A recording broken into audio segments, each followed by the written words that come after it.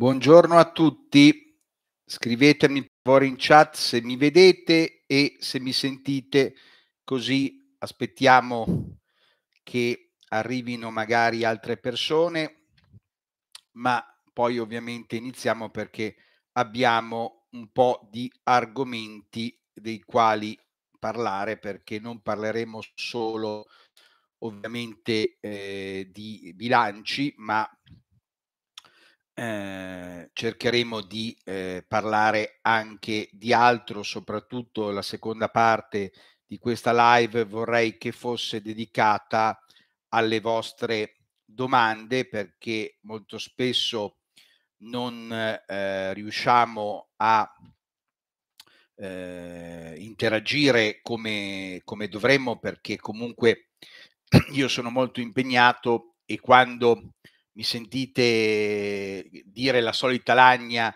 che sono uno dei pochi che fa trading, forma trader e eh, comunque va in tv e ha anche un canale YouTube, ovviamente mi eh, riferisco proprio a questo perché comunque manca sempre il tempo, però voi dovete eh, continuare a scrivermi sempre nei commenti perché io cerco di leggere e di rispondere a tutti. Poi per argomenti specifici è sempre possibile scrivermi via mail a info chiocciola andreacartisano.it. Eh, io credo di essere uno dei pochi in questo settore che non ha problemi anche a chiamare direttamente le persone, per cui eh, mi agevolereste il compito se per esempio mi lasciaste anche un recapito telefonico quando mi scrivete una mail se volete parlare di corsi di formazione che l'anno prossimo eh, inizierò magari a fare, se volete parlare dell'apertura di un conto trading per entrare nel mio ristretto novero di allievi, anche qui potete farlo. Poi non è detto, non è necessario che eh, facciamo qualcosa assieme perché fortunatamente il lavoro non mi manca però eh, ovviamente se mi lasciate un recapito mi agevolate eh, ovviamente eh, perché mi fate risparmiare tempo. Eh, e eh, vi invito anche a scrivermi via mail eh, se volete chiedere l'analisi di un titolo troppo piccolo.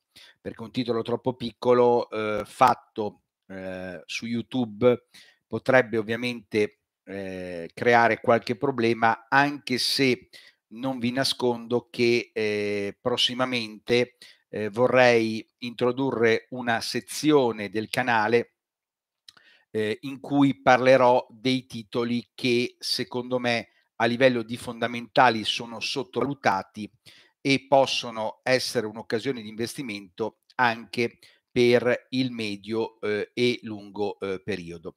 Comunque, eh, siccome eh, sono le tre, io direi che possiamo iniziare, poi intanto il video lo caricherò sul canale, eh, inizieremo come due sabati fa eh, con il sottoscritto che eh, riassumerà il video di ieri e eh, vi racconterà magari eh, qualche curiosità legata proprio all'analisi fondamentale, perché partiamo da un presupposto. Eh, come si eh, legge il bilancio di una società quotata eh, eh, è sinonimo di analisi fondamentale. L'analisi fondamentale è secondo me uno dei due aspetti fondamentali per chi eh, vuole fare trading e cercare ovviamente di essere profittevole. Eh, l'analisi fondamentale ci definisce quanto una società sia a sconto eh, oppure sia correttamente valutata o addirittura sopravvalutata. Secondo parametri ben definiti. Ecco, su questi parametri eh, si potrebbe anche discutere, per carità, nel senso che non necessariamente eh, sono, secondo me, scolpiti nella pietra, lo sono per la comunità finanziaria ma vale un po' come io faccio sempre esempio del deficit PIL, il, il eh, Maastricht, no? il 3%. Chi dice che il 3% è un valore corretto e non lo è il 5 o sarebbe stato meglio il 2? Io rimasi sconvolto quando un grande burocrate dell'Europa, eh, interrogato su questo 3% disse ma ci piaceva il 3%. Ecco, siamo a questi livelli qui. L'analisi fondamentale però eh, eh, ci fa capire se la società sulla quale stiamo investendo è una società che merita eh, che noi rimaniamo in posizione sulla stessa anche per un periodo medio-lungo. La differenza mh, che c'è tra un trader intraday e un value trader è che il trader intraday può comprare e vendere anche delle società che sono eh, messe in condizioni eh, molto scusate che saluto Jordan perché il nostro capo ultra poi ovviamente un caro saluto a tutti eh, però eh, Jordan se mancava eh, sarei andato a mangiarmi la sua colazione non dico dove però so anche dove abita. E, ehm, e dicevamo che eh, la eh, l'analisi fondamentale eh, comunque ci fa capire se una società merita eh, che noi eh, possiamo eh, essere investiti anche per un tempo medio-lungo eh, senza correre dei grossi rischi. Il trader intraday invece eh, compra addirittura delle società che potrebbero anche fallire da lì a poche settimane. È già capitato tante volte eh, che eh, una società sulla quale anch'io tradavo abitualmente poi è fallita e quindi l'analisi fondamentale deve aiutarci a evitare che queste cose accadano.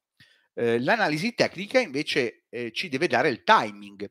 Anche qui eh, sento sempre, perché il più citato è ovviamente Warren Buffett, che non è importante il timing in cui si entra eh, su un titolo in borsa. Eh, io non sono d'accordo per un semplice motivo, perché o hai il capitale che ha Warren Buffett e hai tutto il tempo di questo mondo, ma se hai 10, 20, 50, 100 mila euro, è fondamentale il timing, il momento in cui tu entri sul mercato, perché se fossimo entrati sul mercato a eh, fine eh, 2021, inizio 2022, avremmo del, molte posizioni che sono ancora in sofferenza. Ok? Quindi quello che intendo dire io è che se non abbiamo dei capitali infiniti, purtroppo è, è, è decisamente importante il momento in cui entriamo sul mercato. E questo ce lo dice l'analisi tecnica. Quello che vi ho detto eh, ieri già nel, nel, video che ho caricato eh, riguardo a come sfruttare pochi parametri eh, di eh, un bilancio per poter valutare la bontà o meno della società, ve lo ribadisco oggi. Eh, fatturato, EBITDA, EBIT, utile netto, posizione finanziaria netta, patrimonio netto. Eh, ci sono mille altre variabili, però eh, quello che purtroppo viene eccessivamente utilizzato da parte delle società quotate in questa fase è la parolina magica quasi, oserei dire che è adjusted. Cioè sostanzialmente eh, non ci sono dei valori che sono eh, diciamo lineari, come dire, non ci sono stati incidenti di percorso, c'è qualcosa che nel momento della redazione del bilancio, nel bilancio può essere rischio cambio, può essere ovviamente magari eh, una eh, marginalità eh, momentanea minore per cui non è ricorrente. E a me l'adjusted non piace eh, perché per me è sempre un qualcosa di alterato da parte della società per eh, normalmente anche abbellire eh, il bilancio. Poi un altro aspetto che io mh, fossi in Borsa Italia e, e in Consob, in, in Banca d'Italia, che obbligherei le società quotate è a rendere eh, i dati eh, del primo trimestre, del terzo trimestre, eh, assolutamente obbligatori nella loro integrità, perché molte società, mi viene in mente anche una Brunello Cucinelli, una Moncler, rilasciano i propri dati solo eh, limitatamente al fatturato, questo nel primo trimestre e nel terzo trimestre dell'anno. Eh, la ehm, conseguenzialità di cui vi ho parlato, in cui il fatturato deve essere maggiore delle abilità a sua volta maggiore dell'EBIT, a sua volta maggiore dell'utile netto, è secondo me eh, fondamentale perché è la linearità che ogni società quotata dovrebbe eh, seguire, perché se io, come vi spiegavo, fatturo è giusto che possa avere un EBITDA di 20, un EBIT di 10 e un utile netto di 5.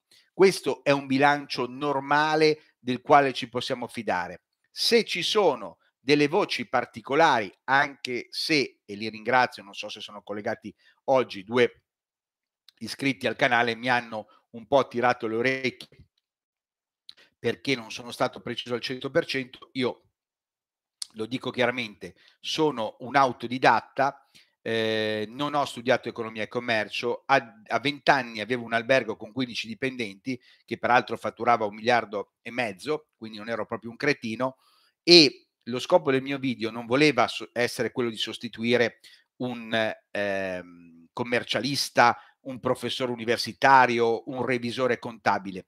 Io volevo solo eh, far capire quello che utilizzo io per valutare una società e cercare di far sì che lo poteste fare anche voi per semplificarvi un po' la vita.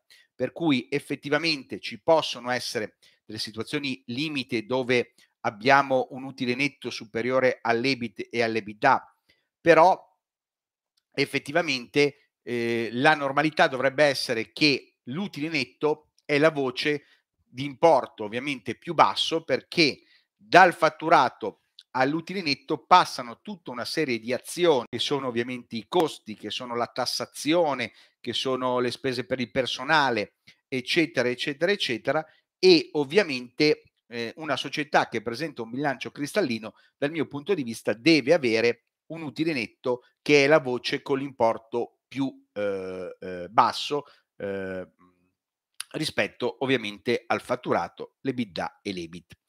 Poi, riguardo ai eh, valori che vengono, per quanto riguarda le domande, per cortesia, non fatele adesso perché se no non riesco a leggerle, aspettate che io finisca e eh, poi eh, ovviamente eh, risponderò a tutti, tempo ne abbiamo, ehm, non, dobbiamo, non abbiamo l'orologio puntato che tra un'ora finiamo, però eh, se no è difficile eh, che io riesca a star dietro a tutto e vorrei dare una linearità almeno in premessa.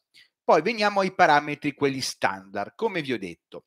Eh, ehm, eh, non ve ne ho parlato ieri nel video perché secondo me i bilanci più difficili da analizzare sono quelli delle banche, perché le banche comunque eh, hanno tantissimi eh, fattori eh, che non sono limitati a ricavi EBITDA, EBIT utile netto, ma hanno il margine di intermediazione, hanno ovviamente poi il CET 1 come eh, le assicurazioni non solvency ratio eh, per, e poi a me non piacciono tendenzialmente i bilanci delle banche perché comunque mettono sempre eh, gli NPL un po' dove vogliono, cioè l'aveva mh, confermato anche Castagna in un'intervista eh, a Class, poi tra l'altro hanno chiamato l'ufficio stampa di eh, Banco BPM, ha chiamato eh, Emerick per dire che io eh, avevo fatto un'affermazione eh, non condivisa da eh, Banco BPM. Un, io ho citato un'intervista a Castagna che diceva guardate che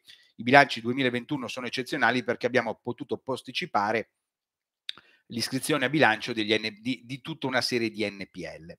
Però veniamo a, al titolo industriale di cui parlavamo ieri.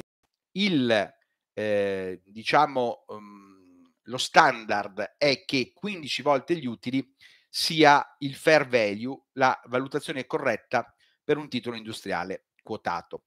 Poi cosa può succedere? Che nel mercato 2021 questo 15 volte eh, ehm, ehm, gli utili possa in realtà eh, essere diventato anche 25, anche 30. Se eh, vedete il mio video eh, di qualche anno fa eh, che ho fatto a un investor, eh, lo trovate in rete, le mie previsioni anche lì era il 2017, si sono avverate quasi tutte perché parlo di Datalogic come di un'ottima società, ma di una società ultra cara, tant'è che era arrivata a valere più di 30 euro per azione adesso vale eh, molto meno di 10. Perché? Perché pur essendo una buona società, il mercato era arrivata a pagarla 40 volte gli utili. Quindi quando noi compriamo una società, anche se l'analisi tecnica ci fornisce il timing, dobbiamo fare molta attenzione a eh, quanto è valutata sui multipli. Per cui il parametro più utilizzato è il price earning, che è la capitalizzazione eh, rispetto fratto, diciamo, diviso gli utili. E eh, l'altro aspetto che eh, guarda molto il mercato è ovviamente il discorso legato al debito. Allora, anche qui è una consuetudine. La posizione finanziaria netta, di solito, quando è scritto PFN 100 milioni, significa debito di 100 milioni, come vi ho spiegato ieri nel video. Quando è PFN con un meno davanti, tendenzialmente quel meno davanti significa che la società ha cassa. Ok? In quest'ultimo periodo, parlo degli ultimi sei mesi, e adesso ovviamente gli ultimi nove mesi, molte società, vi faccio l'esempio più clamoroso che è De Longhi, hanno bruciato tantissimo la loro cassa, tant'è che De Longhi da 400 milioni, esatto Frank, eh, PA in Europa e EPS negli Stati Uniti, che è utile per azione. E ovviamente bisogna tenere molto conto di questo fattore, soprattutto se eh, la società in questione De Longhi, che è andata da 400 milioni quasi a zero di cassa, continuerà a perdere soldi anche eh, nel, nell'ultimo trimestre e poi eventualmente a inizio 2023. Poi ci sono i casi opposti, come Danieli, che è una società che ha una cassa incredibile e che oggi in borsa vale più, eh, poco più della cassa, pur facendo 200 milioni di utile netto. L'altro parametro che eh, viene ovviamente eh, tenuto in questo caso in considerazione non è il debito fine a se stesso, ma il debito rispetto all'EBITDA. Diciamo che società che hanno un, eh, un ehm, diciamo, valore eh, da 5 o superiore, debito fratto EBITDA, sono considerate società, diciamo, a rischio. Eh, però ci sono anche qui le eccezioni, perché Telecom ha più debito di quanto fattura, eh, però eh, se ci pensate, oggi Telecom è ancora una società che è vero che il piano Minerva sta eh, soffrendo, sta rallentando nella propria esecuzione, però potrebbe tranquillamente esserci un'operazione straordinaria a 30 cent e noi, essendo in posizione, avere un ritorno del eh, 40% in poche settimane, se non pochi mesi. Però qui che cos'è che bisogna spiegare? Che cosa è successo su Telecom? Cioè io perché penso di essere modestamente un eh, divulgatore eh, finanziario a 360 gradi? Perché, come vi dicevo due sabati fa, io conosco, non come alcuni personaggi che ne hanno fatto parte, ci mancherebbe del mercato alle grida, ma tutti i più grandi attori della borsa italiana a partire dall'immediato dopoguerra ad oggi. Brusadelli, Aldo Ravelli, Anna Bolchini Bonomi, Michele Sindona, Michelangelo Virgillito. E ovviamente questo fa sì che ovviamente eh, una persona cerchi di aumentare il proprio bagaglio culturale e capisca che magari Telecom era effettivamente un gioiello e purtroppo hanno permesso che questo gioiello non lo fosse più.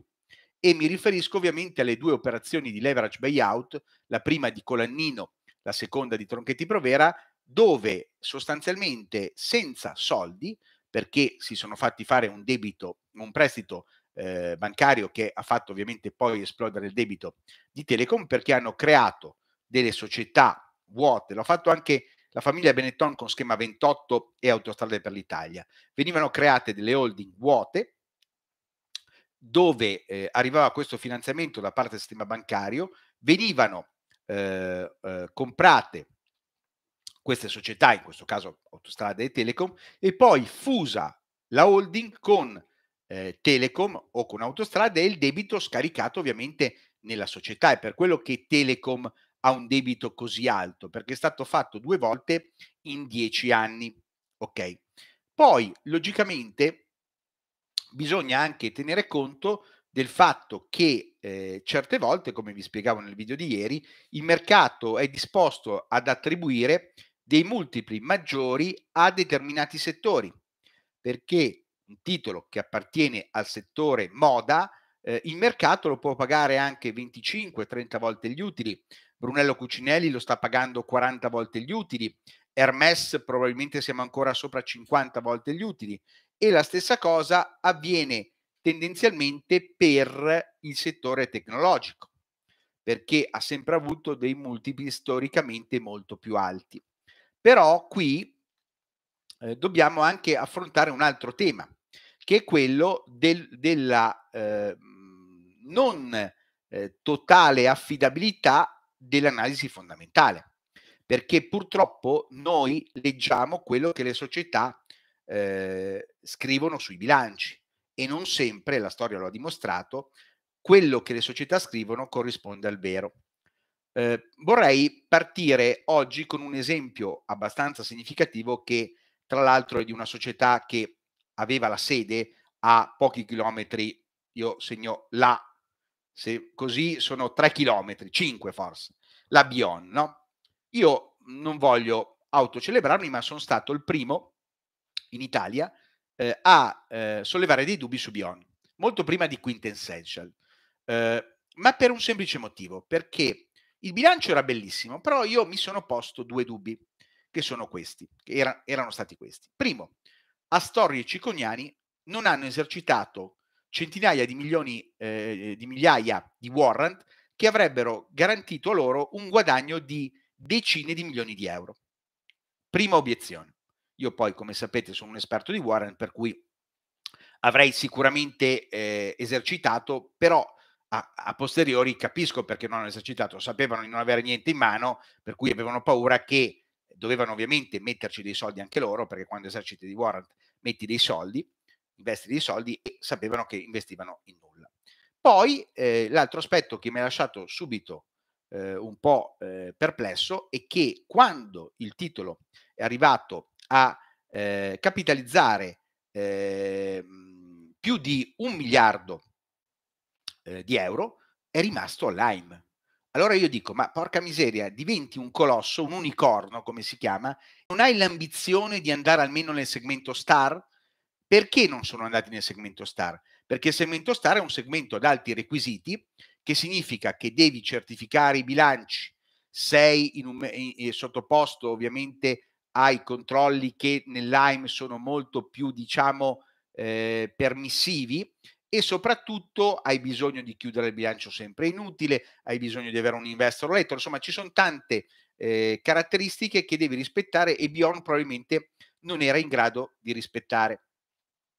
Poi è arrivata Quintessential ed è successo quello che è successo. In poche parole anche lì chi ha avuto la fortuna eh, di poter eh, accedere all'informativa di Bloomberg è andato short il giorno in cui è uscita la notizia, ehm, ho amici che si sono pagati anni di abbonamento Bloomberg grazie a essere andati short eh, su Bion e oggi eh, è andato all'asta lo stabilimento qui vicino a dove l'ufficio, eh, ovviamente i creditori prenderanno soprattutto quelli che erano investiti nel titolo poco o nulla secondo me perché anche lì ci sono i creditori privilegiati e quelli ehm, eh, diciamo eh, chirografari, i privilegiati ovviamente di solito sono indipendenti, magari l'INPS, l'INAIL, eh, i fornitori, eh, mentre eh, gli azionisti sono sicuramente chirografari. Ehm, però ehm, quello che volevo eh, trasmettervi come eh, mia esperienza è che l'analisi fondamentale da sola non funziona perché, e parliamo in questo caso di mercato italiano, perché purtroppo eh, ci sono altri esempi. Eh, un esempio non di insuccesso come Bion, ma eh, che vorrei citarvi è l'esempio di Mario Gabelli. Magari questo nome a, a molti di voi non dice nulla, ma Mario Gabelli è, non voglio esagerare, ma non tanto meno a livello di considerazione eh, negli Stati Uniti eh, rispetto a un Warren Buffett, perché è un value investor esattamente come Warren Buffett. Qualche anno fa, perché il nome lo fa capire, eh, è di origini italiane, sbarca sul mercato italiano con una sua società che si chiama Gabelli for Value, ha sostanzialmente la struttura di una SPAC, la SPAC è la famosa società che eh, ha solo liquidità, quindi quando si quota ha solo cassa e non ha nessun business, ma si dà 24 mesi di tempo per trovare una società target da acquistare e praticamente, ecco qua abbiamo già il primo, il primo Ether, vediamo un po', eh, vabbè, vediamo un po' se si può, aspettate un attimo che voglio, voglio un attimo rimuovere, magari oppure segnalarlo, vediamo un po'. Ecco, vediamo un po'. Magari vediamo se si ferma. Lo rimuovo un attimo, scusatemi, ma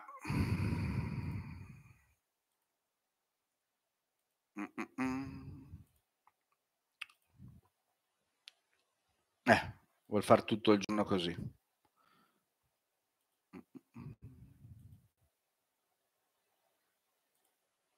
Scusami, ma vabbè, andiamo avanti, poi magari si stufa. Allora, dicevamo che eh, il progetto di eh, Mario Gabelli in Italia è stato un fallimento.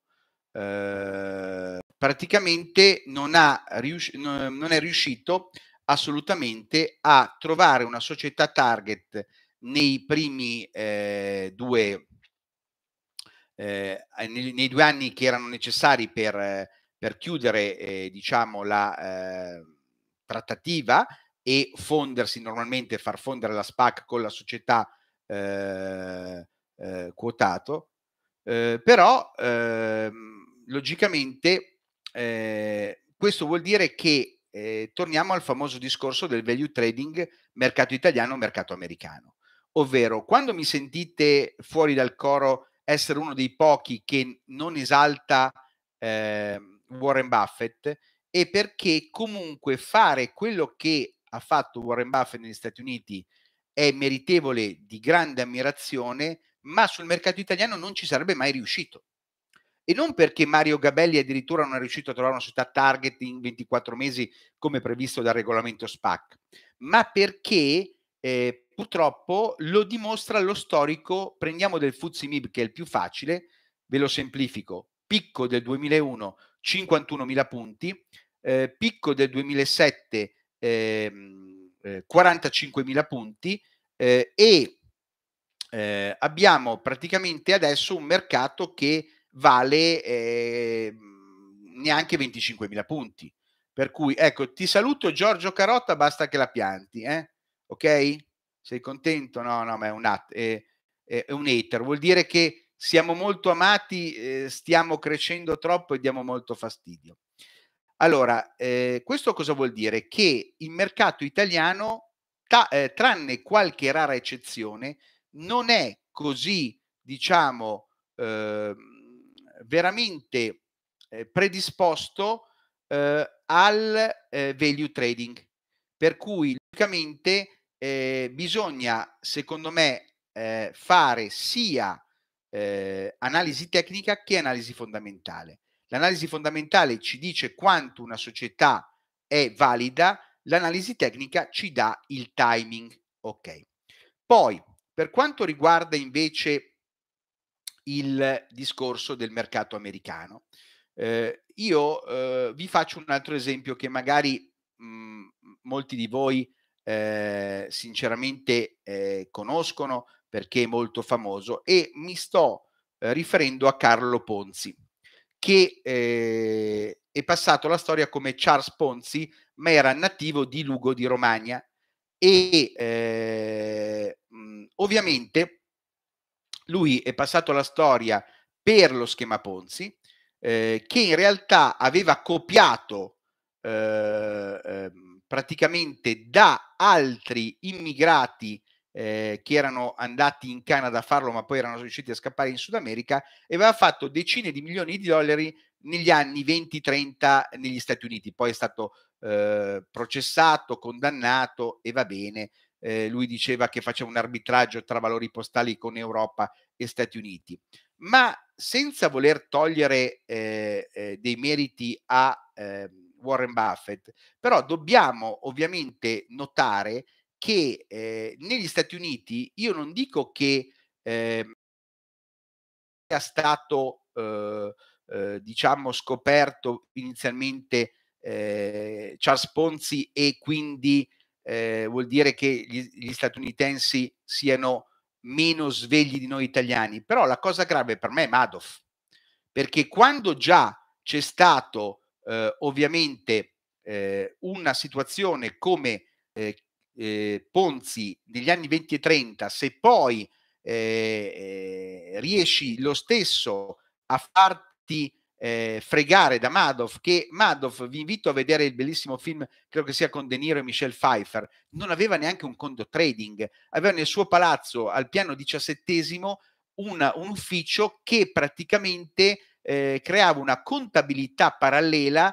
perché praticamente eh, doveva questa contabilità dimostrare che in ogni condizione di mercato eh, ci fosse un eh, 10% di rendimento e quindi venisse quasi azzerata la volatilità.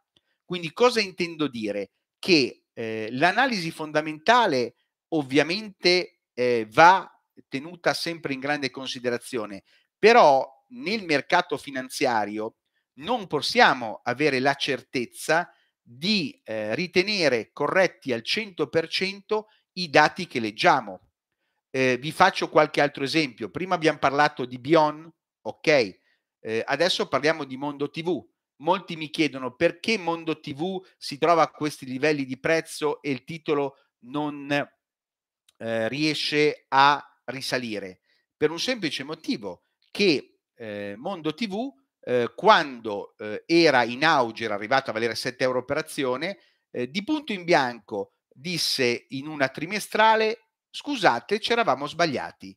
Eh, mh, tutti i lavori eh, che, tutte le commesse che abbiamo nel sud-est asiatico o molte di queste commesse, non di questi contratti, non si concluderanno, per cui dobbiamo rivedere le nostre previsioni su fatturato e margini.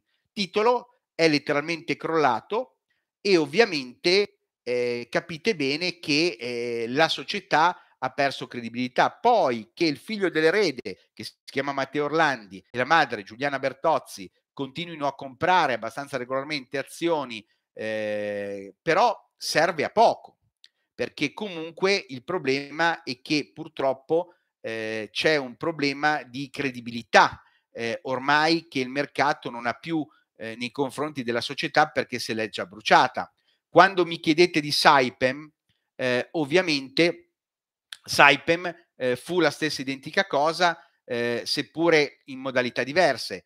Tre aumenti di capitale in dieci anni, profit warning dal giorno alla notte, titolo che fa meno 50%, eh, che valeva 30 euro e te lo trovi a 15 il giorno, il giorno dopo, ovviamente eh, non andiamo da nessuna parte. Adesso non credo che purtroppo Saipem potrà mai più tornare al, a livello eh, di quanto eh, eh, era dieci anni fa, ma i casi sono innumerevoli, per cui quello che voglio dirvi io è questo.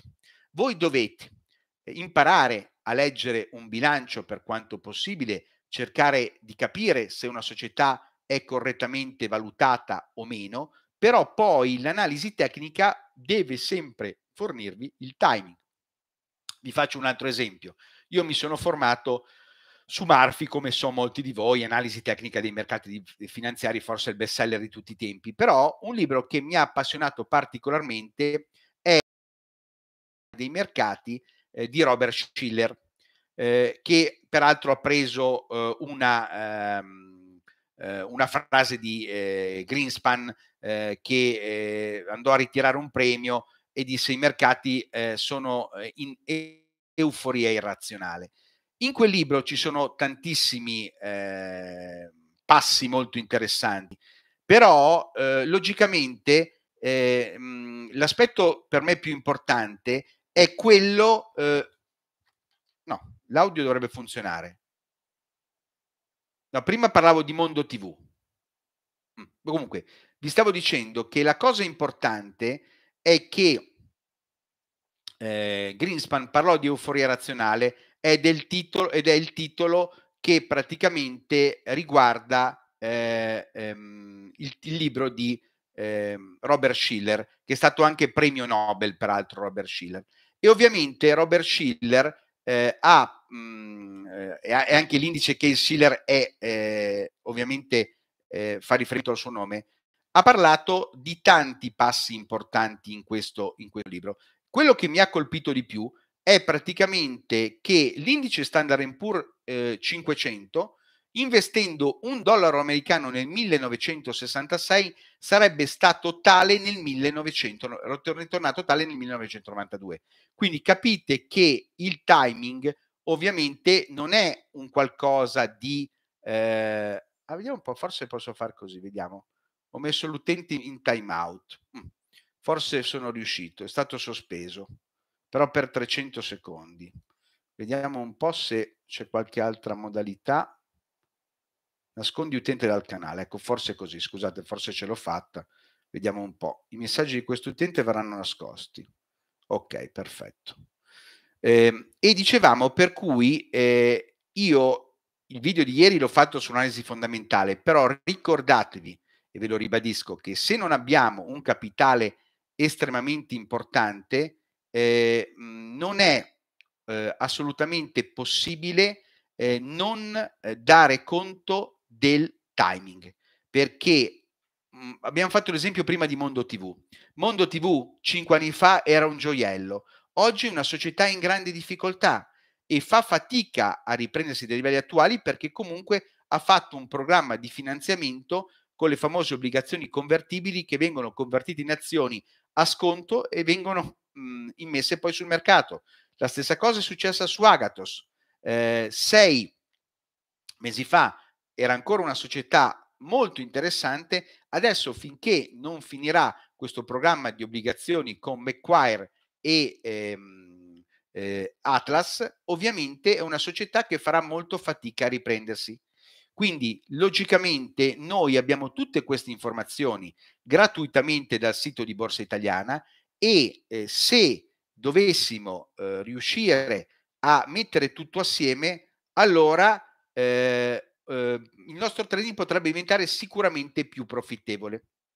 Adesso, siccome eh, eh, sono sicuramente molte le domande che volete fare, cominciate a scrivere e penso di aver anche eh, bloccato later, così eh, mi eh, potete eh, tranquillamente chiedere quello che volete. allora, vedo che qualcuno comunque l'ha presa bene perché vedo saluta il ragionier Matita. ecco, sì, sì, sì, sì, sì, sì. Ok. Allora, cominciate pure con le domande. Eh. Allora, guarda, adesso considera che Air France, io non te la posso fare eh, adesso perché eh, praticamente... Eh, aspetta che anche lui forse, giustamente Gaetano, eh? ok, perfetto. Così abbiamo anche un altro che abbiamo cancellato. Allora, dicevo che eh, il problema di Air France è uno solo, che eh, molti mi chiedono, per esempio, perché non fai eh, delle analisi eh, sui titoli MTA International, eh, perché molti di loro sarebbero interessantissimi, perché eh, è più difficile reperire i dati di bilancio, cioè il fatto di eh, tradare sul mercato eh, italiano dà un vantaggio di eh, accessibilità ai dati. Cioè io vado sul sito di Borsa Italia, se devo fare trading ovviamente è un discorso diverso perché i dati sono ritardati circa di 15 minuti, però se devo invece eh, potermi, eh, ho la possibilità insomma di eh, leggerli a bocce ferme, è tutto molto molto eh, interessante e ovviamente diventa eh, molto più facile riuscire a capire se una società è sopravvalutata o sottovalutata. Eh, Fabrizio, Atlas e Company fanno il loro mestiere, siamo noi che dobbiamo... Eh, questo hai perfettamente ragione Fabrizio, però è una battaglia che il mio amico Emerick eh, che mh, mm, eh, porta avanti da tanto tempo e in effetti è molto penalizzante per gli investitori. Marco, eh, eh, Andrea, ti fidi dei dati messi in bilancio? Allora, è ovvio che eh, partiamo da un presupposto, scusate se eh, po- posso sembrarvi troppo negativo, però in realtà eh, una società che non dovesse avere bisogno, sappiate che non si quota in borsa. Cioè, se notate Ferrero, che è la società forse più solida a livello italiano, non si è mai quotata in borsa. Barilla non si è mai quotata in borsa, per cui dobbiamo partire anche da questo presupposto qui. Eh, no, beh, no, mm, diciamo che eh, Stefano chiede differenza tra EPS e, e, e price earning. Eh, sono semplicemente due modalità di calcolo diverse. Noi potremmo calcolare anche un EPS eh, sul, eh, su un titolo italiano. La differenza qual è? Che l'EPS a me non piace perché c'è una forma che hanno le società americane per far risultare degli EPS molto positivi e ve la spiego subito. Sono i piani di buyback perché loro comprano azioni proprie, poi le annullano e di conseguenza l'EPS sale, per cui per me la grossa differenza è questa qui. Eh, Davide, eh, Andrea, una tua opinione sul trading system. Allora, io sono un trader discrezionale, per cui il trading system non è un qualcosa che mi piace. Vi spiego perché non mi piace il trading system, perché un noto eh, sviluppatore di trading system italiano, anche molto conosciuto, eh, eh, è venuto diverse volte quando gestivo la trading room di Modena e mi ha detto che lui non avrebbe mai fatto trading discrezionale perché è troppo emotivo, ma si sarebbe dedicato al trading automatico. Mi ha spiegato questo. Date 10 operazioni in un giorno, il trading system è in grado di perdere eh, o per stop loss o magari le commissioni nelle prime 7 operazioni che tenta e con le 3 che rimangono delle 10 passare in guadagno. Io da trading discrezionale vi dico che se al mattino inizio e perdo le prime 7 operazioni su 7, ecco qua un altro, aspettate, vediamo, ecco, ok, e, ed è per cui che non riesco eh, mentalmente a accettare l'idea di vivere questa situazione. Quindi io accetterei un training system se non dovessi io essere a eseguire, accendo il computer, fa tutto lui, a fine giornata arrivo, vedo cosa ha fatto, allora potrei eh, pensare anche di eh, eh, provare un training system, se no eh, sinceramente non lo farei mai. Eh, allora, Antonino piede, piede, le banche, ma allora eh, le banche il PIE secondo me conta meno, conta di più il CET One. Eh, ci sono dei parametri europei da eh, eh, rispettare, ovviamente sotto il 10% sono molto pericolose, indica sostanzialmente la solidità di una banca. Se una banca non fa prestiti, e ci sono anche delle banche che non fanno prestiti, perché comunque Mediobanca non fa prestiti, per cui ha de- un price earning eh, su un CET1 che è sicuramente più alto di una banca commerciale. Eh, però eh, a me quello che preoccupa nelle banche, oltre al CET1, è capire bene la posizione degli NPL, che spesso viene sottovalutata. Allora, edilizia acrobatica, eh, adesso non so se è ancora uscita la trimestrale, però eh, la farò. Edilizia, l'unica cosa che mi preoccupa è che eh, praticamente eh, ehm, è una società che eh, come Gibus e come Schucker ha beneficiato tantissimo del bonus 110%, per cui anche se il bilancio continua a essere buono, eh, mi aspetto che comunque eh, con una revisione del 110 possa un po' soffrire. Matteo, non basta andare sul sito della società e ho capito, però non credo che abbia la pagina in italiano. È vero che io trovo il francese, eh, parlo francese quasi come l'italiano, però trovarmela in italiano eh, e comunque parlo un francese magari scolastico o di militanza sul campo, perché ho vissuto i primi 30 anni attaccato alla Costa Azzurra, però i termini tecnici magari anch'io non li conosco in francese, eh, per cui è più facile eh, reperire i bilanci di società italiane purtroppo. Eh, Giampiero, dove si i bilanci? Dal sito di Borsa Italia, comunicati societari, eh, notizie, comunicati societari, sono tutti i bilanci. Eh, io andrei a vedere insieme i dati di una società su un sito gratuito e tu ci indichi... Beh no, ma questo Mario, eh, ve l'ho già detto, eh, fatturato, EBITDA, EBIT, utile netto, eh, posizione finanziaria netta e patrimonio netto, quindi è molto facile. Eh, allora, eh, Alerion, che prospettive hai? Allora, aspettate che stanno arrivando molte, molte eh, allora, ecco. Alerion, ma no, Alerion uh, ottime prospettive, però, però eh, ovviamente eh, il titolo è già salito molto, per cui eh, quando un titolo sale così tanto, anche se ha ottime prospettive, qualche correzione di periodo potrebbe averla.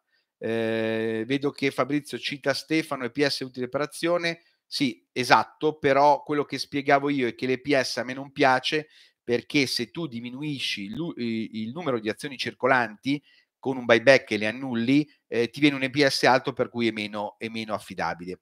I bilanci di grandi capitalizzazioni in genere più, più sicuri. Ma allora sì, però eh, capisci bene Enzo che Enel eh, che capitalizza 40 miliardi di euro, eh, comunque quest'anno farà 3 miliardi, 3 miliardi e mezzo di utile netto e ha un debito di 65 miliardi. Eh, eh, Ale, BS e Mar sottovalutate, BS probabilmente sì, Mar devo dire anche se ce l'ho nel mio portafoglio di medio-lungo periodo, eh, in realtà ha purtroppo mi ha purtroppo deluso a livello di trimestrale perché mi aspettavo, essendo questa trimestrale comprensiva dei dati estivi, fosse molto molto meglio. Eh, Alessandro, secondo lei Montepaschi vale eh, ma allora dunque adesso l'ultimo chat one di Montepaschi anche se di 15.17 eh, 15.7 Montepaschi ha perso purtroppo la credibilità con il mercato, quindi eh, potrebbe anche avere 25 di, di Chat One che cambierebbe purtroppo molto poco. Che eh, Unicredit se la possa prendere non lo so, Orcel è uno dei più grandi comunicatori mai esistenti eh, in, eh, al mondo perché per me eh, Unicredit adesso è cresciuta veramente troppo. Uh, uh, Andrea eh, Galeazzi, cosa ne pensa della società con tanta cassa ma che non viene mai investita? Uh, penso che voglia dire su, sulla quale non, non, non viene mai ehm, eh, investito, diciamo, non viene mai presa in considerazione al mercato. E purtroppo i casi ci sono. Eh, vi ho fatto l'esempio di Danieli. Danieli credo che siamo io non ho mai nessun appunto, e vedete, ho questo che è chiuso, improvviso sempre, quindi posso anche sbagliarmi, ma è difficile perché ho buona memoria. Mi pare di ricordare un miliardo di cassa, un miliardo e due di capitalizzazione. Per me Danieli potrebbe valere anche il doppio, ma purtroppo eh, eh, eh, diciamo che è già capitato. Eh, Andrea, prossima inserisci un eh, moderatore che bani i disturbatori. Hai ragione, però sai, per me è un eh, diciamo piacere stare con voi, però io sono un informatico, eh, come dico sempre, peggio di un bambino dell'asilo, quindi logicamente cercheremo di evitare, ma non me l'aspettavo anche perché comunque eh, non ne capisco l'utilità, se non sia l'invidia, non lo so, perché io non, mi, non passo il tempo andare a spammare, come si dice, trollare, credo sia il termine giusto. Eh, Alessandro, il rischio che temo di più è quello dei bilanci taroccati. Ecco, mm, sì, hai ragione, io poi eh, anche questo EGM che dici tu, sì, sinceramente non, eh, non, non è una, una, cosa che eh, secondo me risolve i problemi, quindi la tua considerazione è ampiamente condivisibile. Eh, Umberto si potrebbe vedere analisi fondamentali di Danieli, ma eh, Danieli c'è poco da dire. Danieli potrebbe valere tranquillamente il doppio eh, rispetto a quello che vale in borsa, capitalizzare quindi almeno 2 miliardi, eh, però incredibilmente il mercato non, eh, eh, non, non, la, non la, valorizza. Ehm, come, come, dovrebbe.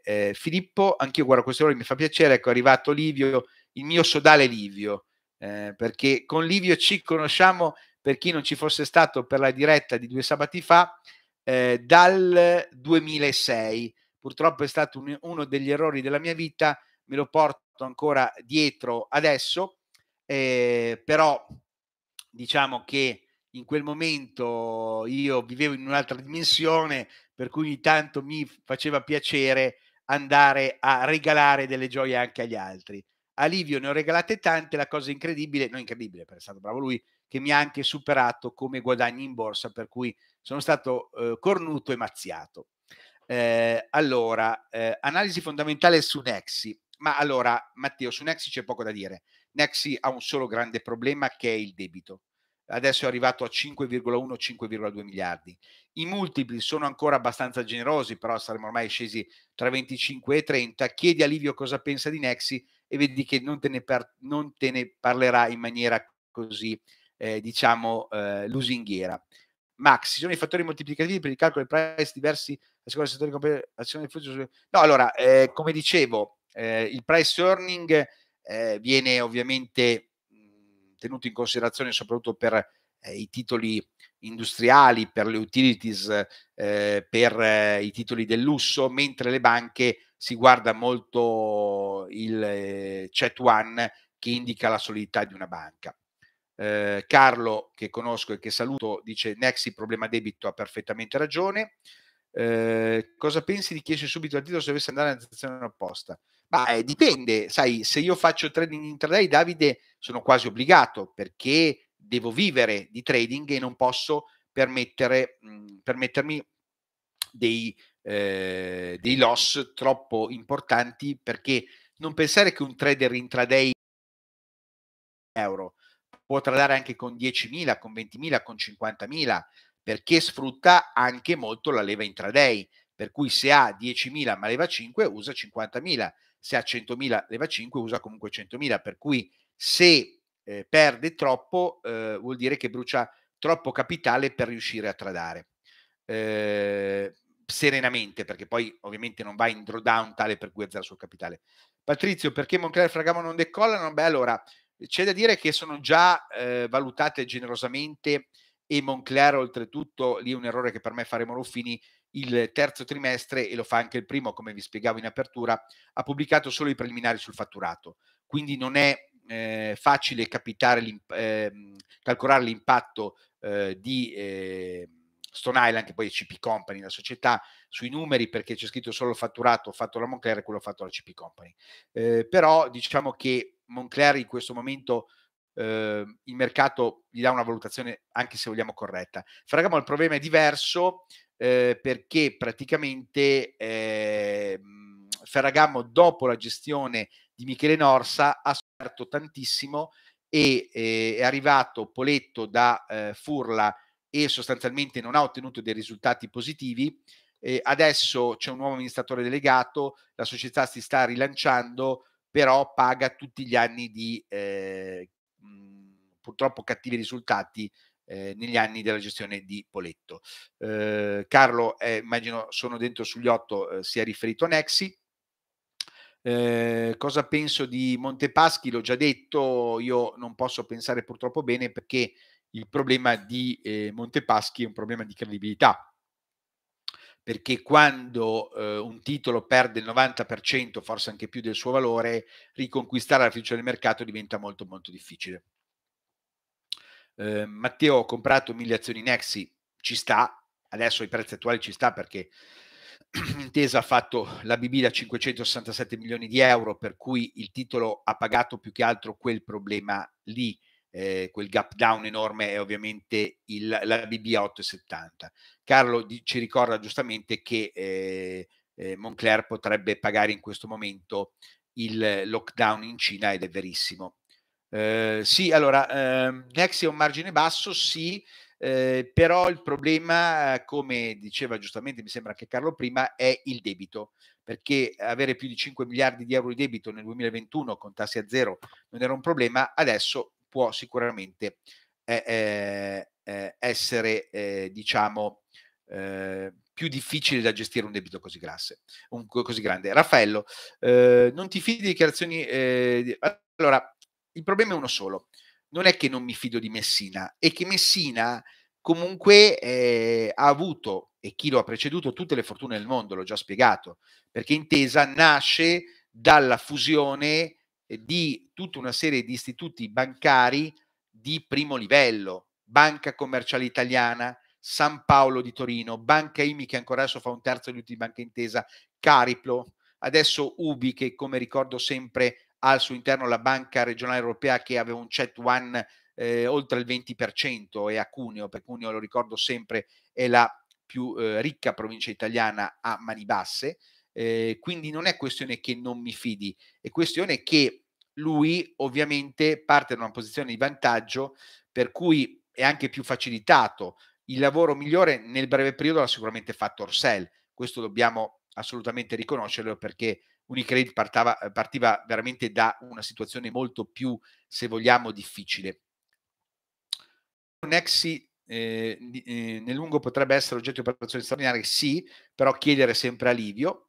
Eh, Angelo Azzurro, cosa ne pensi di accumulare eh, Mondo TV? Allora, Mondo TV io non lo accumulerei finché non finiscono le obbligazioni convertibili. Quando finiscono le obbligazioni convertibili, magari mh, assolutamente potremmo pensare di accumulare. Eh, IGV, secondo te finché muore il vecchio non si solleverà mai? Eh, parli di i grandi viaggi Clementi? Eh, parli di lui? Bah, non penso che il problema sia Clementi, penso che il problema sia che purtroppo la società perde soldi e quindi il problema di GV è quello. Eh, poi dimmi eh, aumento di capitale su che titolo? Eh, Alessandro, non ti preoccupare.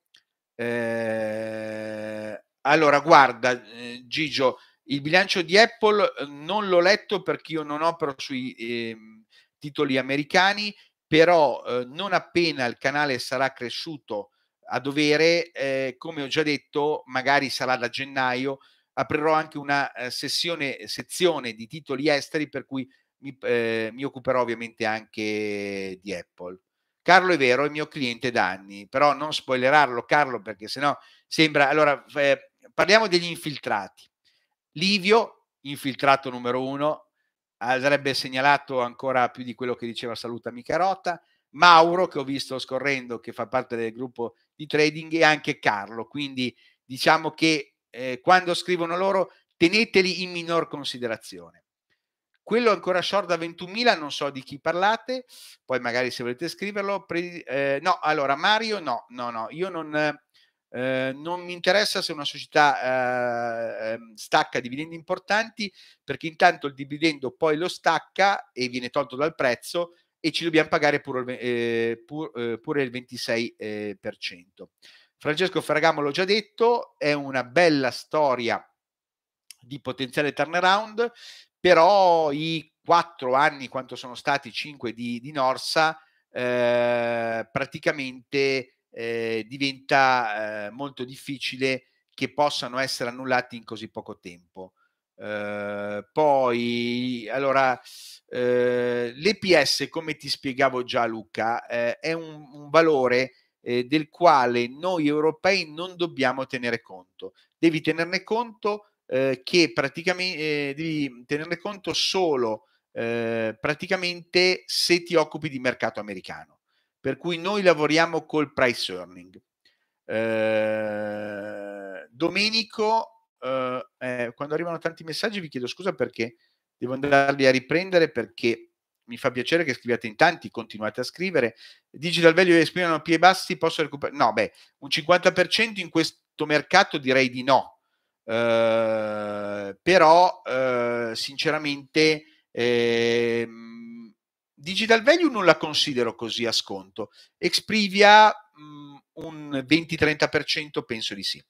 Caro, per me Satori non guadagna nulla del trading, intanto chiacchiere. Allora, oggi mi sono imposto che non commenterò i miei colleghi, per cui non chiedetemi perché non commento nessuno. Bridgewater, Raffaello, eh, il fondo americano short su intesa come mai non dice più niente? Ah, ecco, lì eh, magari bisognerebbe, magari lo posso sottolineare, ad Emerick eh, perché con Stefano Sabetta fanno la trasmissione sugli short, mi pare lunedì, eh, e ovviamente sarebbe interessante che questi market mover come Bridgewater eh, ci dicano la loro posizione. Eh, Vitto, in che percentuale fai le scelte tra analisi fondamentale? Eh, in... Ah, io eh, ho un portafoglio di medio-lungo periodo ed è tanto ormai hai detto che il mio cliente è il servizio per cui è abbonato Carlo, eh, che esce ogni settimana, eh, e eh, invece poi faccio trading, per cui per il medio-lungo periodo eh, ovviamente cerco di investire in società che mi piacciono sui fondamentali. L'intraday vale un po' tutto, perché a fine giornata molto spesso sei fuori. Ah, scusami, eh, analisi fondamentale, ok, scusami. Ma no, allora, eh, per l'intraday conta di più l'analisi tecnica, ovviamente per il medio-lungo periodo conta di più l'analisi fondamentale.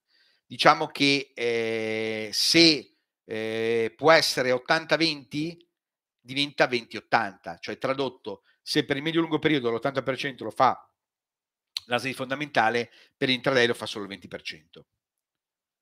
Uh, Ivano Farmè ha comunicato uh, di fare buyback ma non ha comprato ancora nulla. Ma allora Ivano, uh, Farmè è una società che a me non fa impazzire. Partiamo da questo presupposto, perché continua a scommettere da tempo sul fatturato e poco sulla marginalità. Cioè fa sempre un fatturato in crescita ma non riesce a fare utili. Eh, il fatto che non abbia ancora iniziato il buyback eh, già annunciato può capitare, eh, ci sono società che magari fanno buyback, lo comunicano, poi interrompono eh, e ovviamente mh, mm, eh, ti può sembrare strano, ma è nella logica eh, dell'operato di una società. Bisognerebbe vedere, adesso io il dato non ce l'ho a memoria, eh, capire anche quanto hanno eh, varato, perché se un aumento di capitale da 100.000 euro hanno poche cartucce, se da un milione di euro ovviamente possono tranquillamente... Eh, eh, prendersi il loro tempo, ma ne hanno anche tanto per riuscire, perché il, il buyback ha due caratteristiche, controvalore e tempo, perché, e poi ovviamente c'è un limite di prezzo al rialzo e un limite di prezzo al ribasso, quindi non è proprio così facile, però eh, penso che se lo hanno lanciato eh, lo inizieranno tra non molto. Eh, Carlo, del resto perché rischiare se vendi corsi come non ci fosse un domani? Ma allora sì, eh, non è ovviamente il mio caso, ho fatto solo un corso di analisi tecnica in vent'anni, molti miei colleghi hanno scelto la strada della formazione, eh, io sapete che sono di eh, diverso avviso, però siamo in democrazia per cui logicamente sta eh, a, ehm, ai trader, agli investitori capire eh, da chi indirizzarsi io personalmente eh, preferisco quelli che come me sono ancora sul campo, però siamo rimasti molto in pochi. Eh, Paolo, potrebbe essere una buona idea dividere le azioni in base ai dati di bilancio per cui long su azioni? Sì, eh, può essere una buona idea, però con un limite, che long puoi andare su tutto, short no, perché comunque gli intermediari non necessariamente ti concedono lo short intraday su tutto, eh, di certo trovare prestito overnight per un titolo sottile non è così assolutamente facile. Marco Mitico Camilli, per te mitico, per me no, io lo devo sopportare tutti i giorni. Eh, Giovanni, si può avere un'analisi di dati di ERG? allora, eh, sinceramente non sono stati male, eh, però il problema di ERG qual è? Che quando un titolo cambia 4-5 anni fa eh, da sostanzialmente raffinatore a eh, ehm, diciamo energie rinnovabili fa già un cambiamento eco- epocale per cui il mercato l'ha premiato. Per quanto riguarda Erghi, il problema non è tanto eh, il dati, da, quali sono i dati di bilancio, anche se secondo me a questi prezzi è correttamente valutata, ma il fatto che il titolo sia veramente salito tantissimo, per cui periodi bisogno di correzioni per riuscire a essere eh, logicamente eh, almeno a livello di analisi tecnica, un po' scarico a livello di indicatori oscillatori. Tutto qui. Però i dati non sono stati male. Eh, ma allora, eh, sicuramente Alessandro Nexi sull'innalzamento del contante potrebbe avere delle eh, negatività. Eh, poi non ho ben capito, vi chiedo scusa perché tutto non posso ovviamente sapere, se sul POS eh, forse è cambiata la soglia eh, che c'è una soglia minima sotto la quale potresti anche non prendere, eh, quello sarebbe molto importante perché oggi giustamente il negoziante, l'esercente eh, che paga ovviamente l'1% su una transazione a 5 euro eh, non ha molto piacere a prenderti la carta. Quello, quello Uh, Alessandro, nei bilanci di banche manca molte volte il debito, come si può fare? Eh, lo so, Alessandro, però le banche sono i bilanci, come spiegavo uh, prima più difficili per me da analizzare per questo problema che vedi tu, ma anche per il fatto che eh, non sai mai come contabilizzano gli NPL. Eh, Alessandro, Andrea, io preferisco eh, scalping con l'eva intraday, non riesco a fare cassetto. Eh, ma Alessandro, in realtà, eh, se tu, eh, visto che sei uno scalper, entrassi nella mia scuderia, perché io sto cercando dei trader per allargare la mia scuderia, soprattutto se hanno già esperienza, per essere di aiuto anche a quelli magari meno esperti, ti accorgerai che anche noi eh, non, eh, intendo io, Livio, Riccardo, che siamo un po' le tre colonne della, della nostra chat, eh, non è che eh, disdegniamo eh, l'operazione di brevissimo. Se noi chiudiamo entro un minuto, non ti nascondo che preferiamo ancora. Allora, eh, Max MFE, eh, vorrei fare un video dedicato per cui me ne voglio occupare perché tra l'altro adesso il titolo è in grande risalita, per cui sicuramente... Eh, allora, eh, Massimo, eh, perché eh, DH, Capital è più difficile da fare? Perché DH Capital fondamentalmente è una società che è una holding, quindi ha le partecipazioni, quindi praticamente devi andare a vedere come Exor, al di là dello sconto storico 20-30% sul NAV, eh, è un bilancio più complicato eh, da, mh, mm, eh, fa, da analizzare rispetto a un titolo industriale perché se vuoi fare un lavoro accurato dovresti vedere proprio tutto perché anche tamburi paradossalmente difficile perché adesso come mi giustifica bilancio il flop di Italy Tamburi sapete che io lo stimo tantissimo però lì è stata una bella botta per Tamburi. Eh, come mi giustifica la perdita totale o come mi ha giustificato la perdita totale sull'investimento in management capitali, come mi giustifica almeno 80-90% su Morrif, come mi giustifica almeno 50-60% su Telesia, cioè mh, mhmm, è un po' più complicato in questo senso. Andrea, eh, criteri SG, ecco, qua purtroppo eh, sono sincero, tocchi una nota dolente perché io ho proprio l'allergia a queste cose. Io questo eh, mondo del futuro tutto green eh, ci credo poco e per me eh, è un, uno spreco eh, aver introdotto i criteri SG perché semplicemente sono dinamiche che i più capaci, i più eh, svelti a ehm, sfruttare le prospettive probabilmente riescono a cavalcare il momento e eh, gli altri sono indietro. Eh, Carlo c'è un bello stop eh, su Nexi, sì, eh, però logicamente adesso speriamo che il titolo almeno si metta in laterale. Umberto, valutazione di EMAC, mm, uh, EMAC price earning ridicolo, 5 o 6 a memoria, c'è un po' il problema del debito. Poi un, un iscritto al canale mi aveva tirato le orecchie perché io ho eh, ipotizzato un utile maggiore rispetto a quello che lui ha detto farà nel 2022. Io avevo parlato, se ricordo bene, dei, di 40 milioni, lui ha parlato di 30, però la ritengo un'ottima società. Eh, Domenico eh, Biper, eh, Biper Carige, ma io come sapete eh, sono ligure, Carige eh, ha sofferto dai tempi di Berneschi in avanti, credo che sia una Montepaschi in piccolo purtroppo, però il mercato devo dire che fino a questo momento sta continuando a premiare Biper. Eh, poi eh, Guido, come vedi i petroliferi nel 2023? Ma eh, all'inizio penso che soffriranno perché a parte il lockdown in Cina non vedo una crescita economica tale per cui il petrolio possa eh, riuscire a fare dei numeri incredibili. Ovviamente dipenderà molto dall'OPEC, dall'OPEC Plus se dovessero tagliare molto la produzione probabilmente potrebbe anche salire bene il prezzo del petrolio.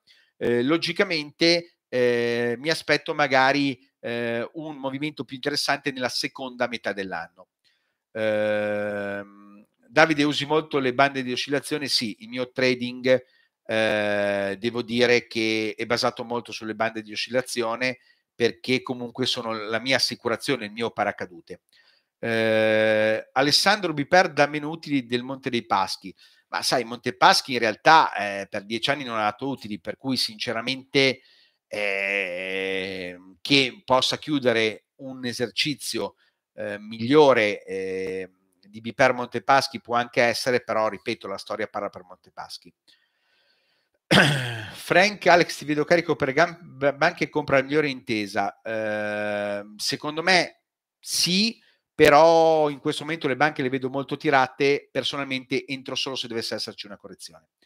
Eh, mi chiede se intesa uscita Nexi sarà un perché, indubbiamente può essere un'obiezione corretta e ovviamente l'8,70 è un livello, se vogliamo, rispetto ai massimi raggiunti in Exi molto basso, per cui il mercato qualche domanda se la fa.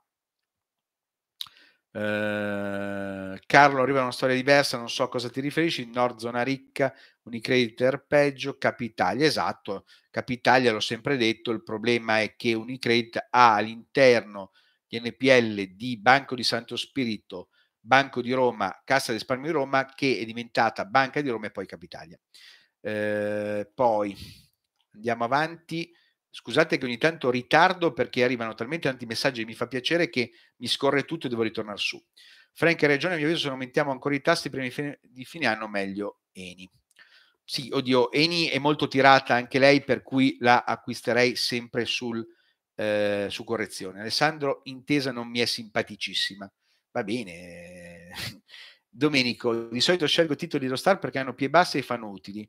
Eh, ma sì, mh, mm, Domenico, eh, lo penso, più che altro io sono stupito di vedere ancora al palo titoli come Sesa, Reply, Datalogic, eh, non l'ho ancora comprata, però avendo il 70% del capitale della famiglia Volta in mano, penso anche sempre che ci possa essere eventualmente un'operazione straordinaria. Filippo, per comprendere al meglio e diventare esperto di bilanci, come consigli approfondire i metodi finanziari settore per settore?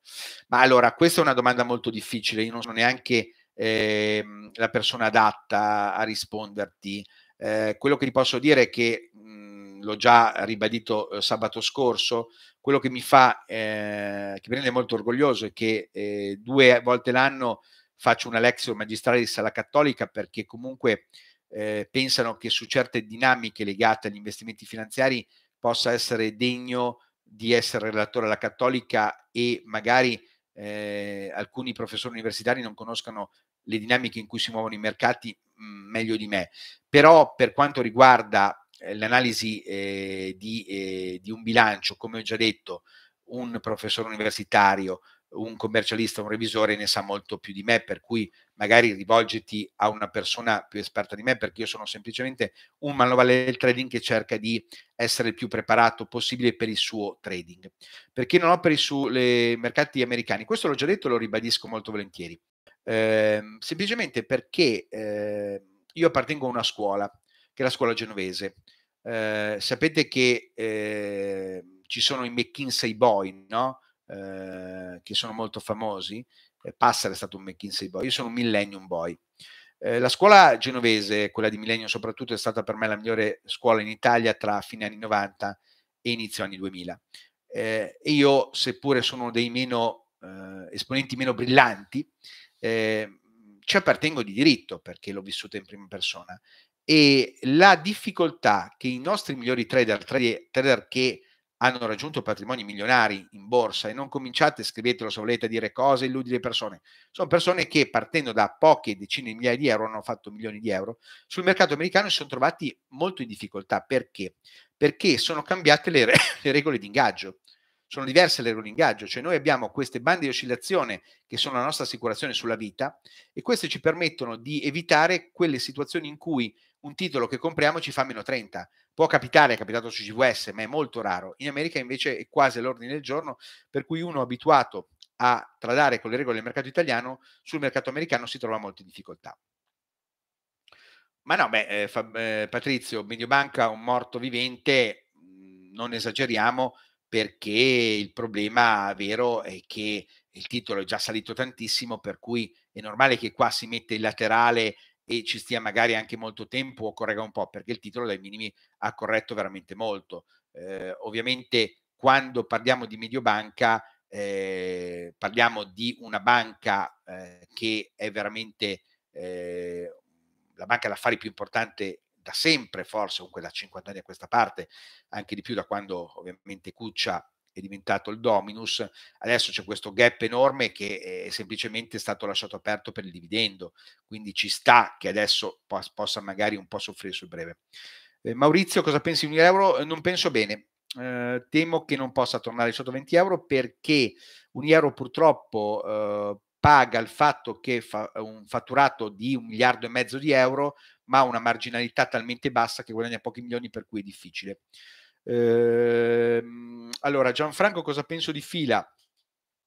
eh, ce l'ho nel mio portafoglio di medio-lungo periodo, però è un titolo che è a rischio stop per me, perché voglio stoppare, ma era un 3%. Il grosso problema di fila è il problema che hanno ormai tante società, eh, c'è la Amplifon per esempio, eh, c'è la Nexi che è il debito. Ha fatto tantissime acquisizioni per cui è un debito molto alto e è per questo che l'ho comprata perché non è una cattiva società, però non mi aspetto dei numeri eh, da circo, come si dice. Alessandro, meglio banche o multi-utility considerando...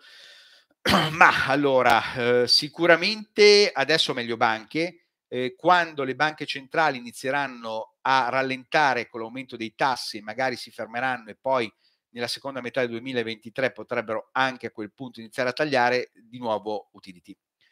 Eh, oddio, Alberto, c'è un modo per pensare se il bilancio è irregolare?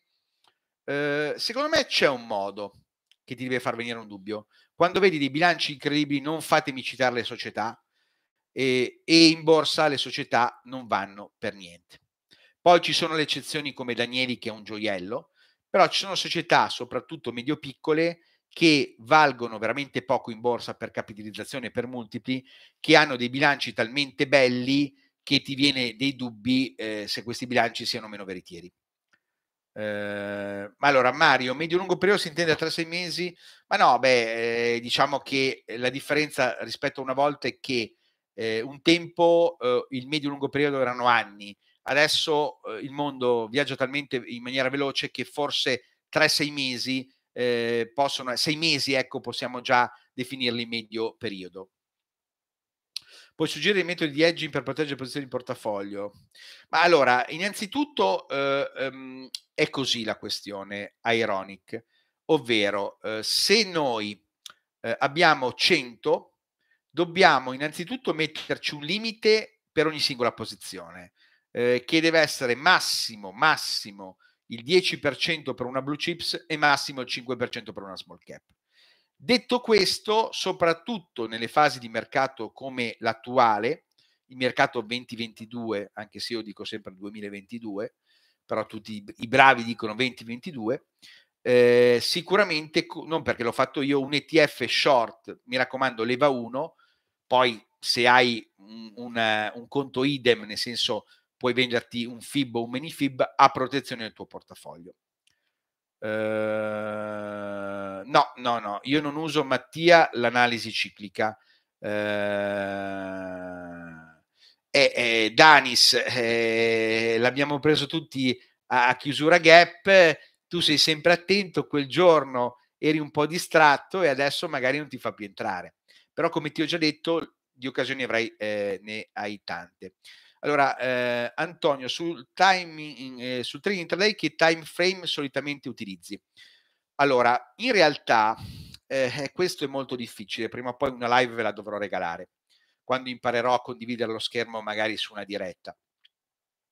Eh, nel, nel trading intraday io, come vi dicevo, appartengo alla scuola genovese di Millennium Sim e mh, mm, c'era un ragazzo, lo cito anche se tanto che non lo vedo perché ne devo parlare solo bene, che si chiama Walter, che faceva dai 500 ai 1000 eseguiti al giorno su STM e guadagnava almeno 15-20 mila euro tutti i mesi.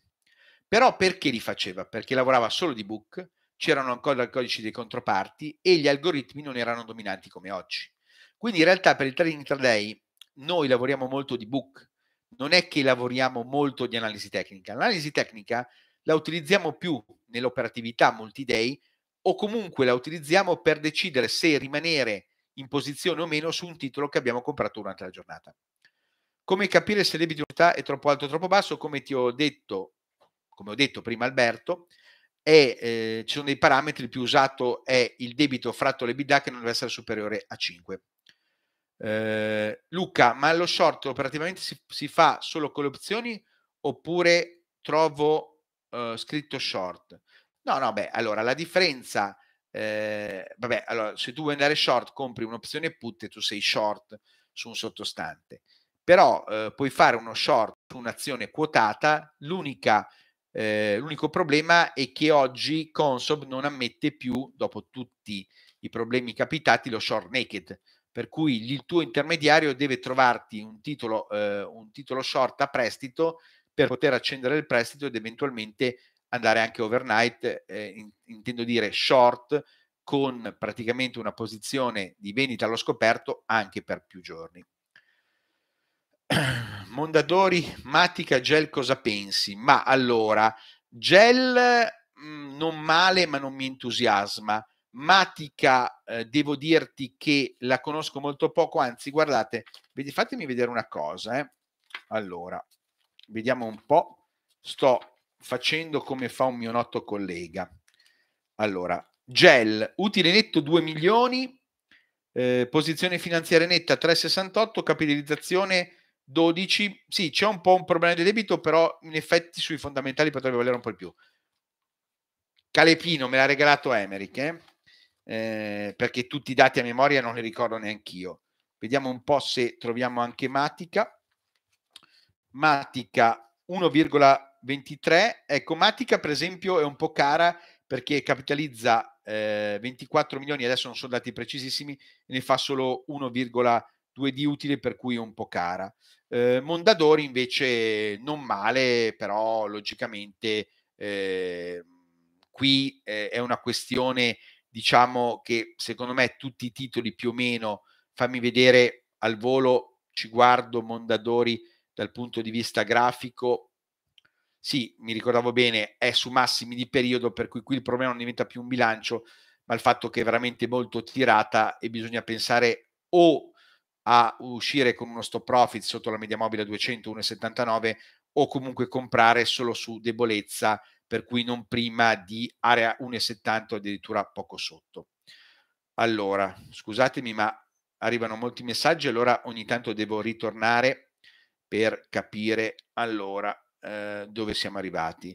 Eh, allora, risanamento, eh, guarda, in realtà l'analisi fondamentale eh, lascia un po' il tempo che trova perché mi risulta che risanamento gli sia rimasto solo Santa Giulia.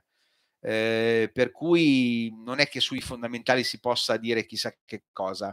Eh, riguardo all'analisi tecnica, sicuramente il titolo è in una fase laterale, credo che stia provando a far base poco sotto area 0,12 da lì eh, può ripartire, però al momento ve- lo vedo titolo da trading range tra diciamo 11,70 e 13,70. Vedo quello adesso eh, sul risanamento. Allora, ehm, eh, tamburi che eh, Fervelio dovrebbe avere. Oddio, eh, non te lo so dire Luigi qui su due piedi, però Tamburi paga ovviamente il fatto che le partecipazioni di tutte in portafoglio nel 2022 hanno perso tantissimo, per cui è giusto che Tamburi eh, sia scesa. Uh, quali sono le prime voci che guardi per valutare velocemente una società che non conosci? Beh, eh, Luca, il price earning sicuramente. Price earning lo, lo guardo subito, questo mi dice sul price earning. Poi guardo sicuramente la posizione finanziaria netta, eh, e magari guardo ecco, quanto, quanto è la marginalità, perché un euro se partissimo dal fatturato sarebbe un gioiello, se guardiamo la marginalità non mi, eh, non mi diciamo, purtroppo eh, entusiasma, quindi eh, quello lo guardo subito. Carlo, ecco, hanno tolto la multa sotto i 30 euro, grazie, immagino si riferisca a Carlo ai POS. Allora, Paolo, no, ma è molto semplice. Per me basta, eh, basterebbero utile netto, eh, posizione finanziaria netto e patrimonio netto. No, basterebbero se proprio dovessimo ridurre al massimo. Eh, allora, mm, Italian Sea Group eh, la faccio poco. Eh, fammela un attimo rivedere al volo graficamente ha recuperato molto bene dai minimi. Se non erro, però, ecco, vedi, Chelsea Group è stata difficile da fare perché è andata nel frattempo a metà ottobre a fare nuovi minimi eh, storici. Però mh, mm, mi piace molto come azienda, quindi eh, sinceramente non è eh, assolutamente un titolo mh, mm, da trascurare. Borgosesia, sono sincero con te, la capisco poco, me ne interesso poco, ti spiego perché. Perché uno dei pochi titoli assieme a Vianini e We Build Risparmio che ha una banda di oscillazione al 2,5%, per cui eh, la trado sinceramente molto poco. Uh, Vito, con la volatilità nei mercati di consiglio minore fare training lungo meglio...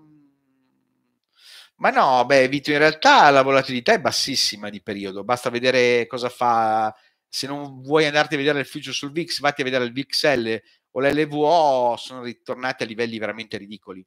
Eh, e poi dipende dalla tua propensione. Io faccio molto volentieri trading intraday come mia attività principale. Se tu sei più portato a fare il cassettista, è giusto che tu faccia il cassettista. Però se avessi preso posizione inizio 2022, secondo me oggi staresti ancora soffrendo. Uh, ma no, Domenico, adesso sull'obbligazionario ci si può anche guardare indubbiamente. Eh, Alessandro, come faccio a entrare nella tua scuderia? Eh, diciamo che la selezione è molto molto eh, attenta perché comunque eh, hai presente Gordon Gecko nel primo Wall Street eh, mi propongono 100 affari ne scelgo solo uno ecco io non dico che ho quel livello di selezione lì però in un anno mi chiedono di, di entrare nella scuderia circa 100 persone, 100 investitori, eh, di solito eh, non ne prendo mai più di 20. Comunque scrivimi un'email a info-andreacartisano.it. Eh, eh, eh, profumo con Leonardo, è grande Jordan, ho capito la battuta. Credo che pochi retail hanno cavalcato. Eh, non so cosa ti riferisci, Vito, poi magari scrivermelo. su Leonardo, DRS è un vero game chair. Sì, è vero Carlo, tant'è che era volata quando avevano parlato già un anno fa della quotazione in America. Uh, non necessariamente Patrizio, io faccio anche operazioni da 2 o 3 mila euro, se mi rendono 20, 30, 40, 50 euro mi va bene lo stesso perché il mio obiettivo è se faccio 10 operazioni al giorno a 30 euro sono comunque 6 mila euro al mese. Nel 2021 sarebbero state eh, sinceramente eh, magari poche, eh, oggi in questo mercato ti dico che è molto più difficile, per cui va bene così. Ecco. Eh, Domenico Finotto, vorrei entrare nella tua scuderia, come si fa? Anche tu, Domenico, info chiocciola andreacartisano.it Vito, info chiocciola andreacartisano.it Se c'è spin-off eh, di DRS, il titolo decolla, dice Carlo, sì, però decolla ancora di più se viene fatto fuori profumo. Questa è una mia eh, idea. Uh, Giovanni, cosa è successo a Servizi Italia? Allora, questa è una bella domanda. Uh, Emerick mi, uh, scusate se siamo un po' sempre quattro amici del bar, mi mena sempre bellino e, e la tua protege. A me piaceva molto. Servizi Italia, società dello Star che oltretutto ha speso decine di migliaia, centinaia di migliaia di euro negli anni in buyback, piani di buyback, semplicemente non riesce a fare tanta redditività pur occupandosi di un settore molto interessante che è il settore finanziario, eh, scusate, il settore sanitario. Eh, e eh, mi dicono che però nel Covid abbia sofferto molto perché il Covid ha fatto rallentare, eh, diciamo, la sanità ordinaria, per cui i business di Servizi Italia magari ne sono stati toccati. Comunque, quando purtroppo andate a trovare una persona in ospedale, vedete che le coperte, le lenzuola sono quasi sempre Servizi Italia, anche le siringhe sterili sono Servizi Italia, è presente in Sud America, in India, oltre che ovviamente in Italia, però eh, purtroppo fa poca marginalità. Eh, e ho capito Carlo, eh, però tu sei un professionista, non voglio dire cosa fai perché io lo so, di successo, per cui eh, al momento magari ti, tam- ti manca il tempo. Eh? E, è un po' quello che sinceramente eh, è il tuo problema. Allora, scusate che di nuovo sono arrivate tante domande, allora mi cambia la schermata. Non sono mai riuscito a capire che la temporale è un medio periodo. No, vabbè, allora, mhmm, Giampiero, mhmm, una volta il medio periodo era forse anche un anno, oggi direi che è sei mesi, ma anche tre mesi, perché se tu passi dal mercato del 2021 al mercato del 2022, cioè se passi da febbraio 2022 ok? L'ultimo mese, diciamo gennaio, dove abbiamo fatto il picco, anche solo a maggio è già medio, medio periodo per, per, le condizioni che sono cambiate, quindi è, è un po' quello. Uh, Frank eh, si riferisce a Jordan, eh. Jordan e Frank sono due personaggi del gruppo. Eh, Marco Fuzimib non sembra troppo tirato? Sì, certo, io ho molta paura eh, per il brevissimo, anche se credo che l'anno lo chiuderemo eh, in maniera moderatamente positiva. In che senso? Che perderemo comunque, ma non il 25% che eravamo arri- arrivati a perdere sui minimi di luglio. Uh, vabbè, eh, Domenico, eh, io mollerei il lavoro per fare tutto il giorno solo trading. Ho capito, hai la fortuna di avere eh, uno dei più bravi formatori che ci sono in Italia che, eh, faccio la battuta, che non è corto di due FIB da 21.000, perché ovviamente so dove volete parare, ma non vi dirò nulla, e quindi scrivimi e, e avrai l'occasione della vita. Tra l'altro sarà un'occasione unica, eh, affrettatevi perché io farò così, come faccio adesso, solo fino a fine eh, dicembre 2023. Poi aprirò la mia scuola di trading per cui eh, sarà un po' diverso. Quando c'è un PE alto, Alberto, ci si aspetta un forte upside per il titolo? Non necessariamente. Eh, il mercato vive molto di consensus. Perché a Brunello Cucinelli permettiamo un PE eh, di 40? Per due motivi. Settore di appartenenza e personaggio dotato di un'aurea mistico-magica che è Brunello Cucinelli. Domenico Alchemy da tenere per il medio eh, periodo, per il portafoglio medio diciamo che i dati sono migliorati, c'è dentro Tamburi, per cui ti direi in teoria sì. Giovanni, Stellantis è un governo prossimo acquisto visto che... Ma allora, Stellantis eh, sinceramente io non l'ho mai capita a fondo perché non capisco come faccio a fare tutto questo utile. Eh, vi ribadisco il concetto eh, di essere stato l'unico in Italia assieme a eh, Fabio Pavesi a criticare la gestione Marchionne sui numeri perché come comunicatore è, è stato uh, il migliore degli ultimi dieci anni assieme a uh, Orcel. Uh, io sinceramente non capisco, è vero che non è il mercato europeo il mercato principale, ma è il secondo comunque, fatto un anno disastroso sulla vendita di nuove auto e i numeri sono così buoni. Ecco, il mio dubbio è quello.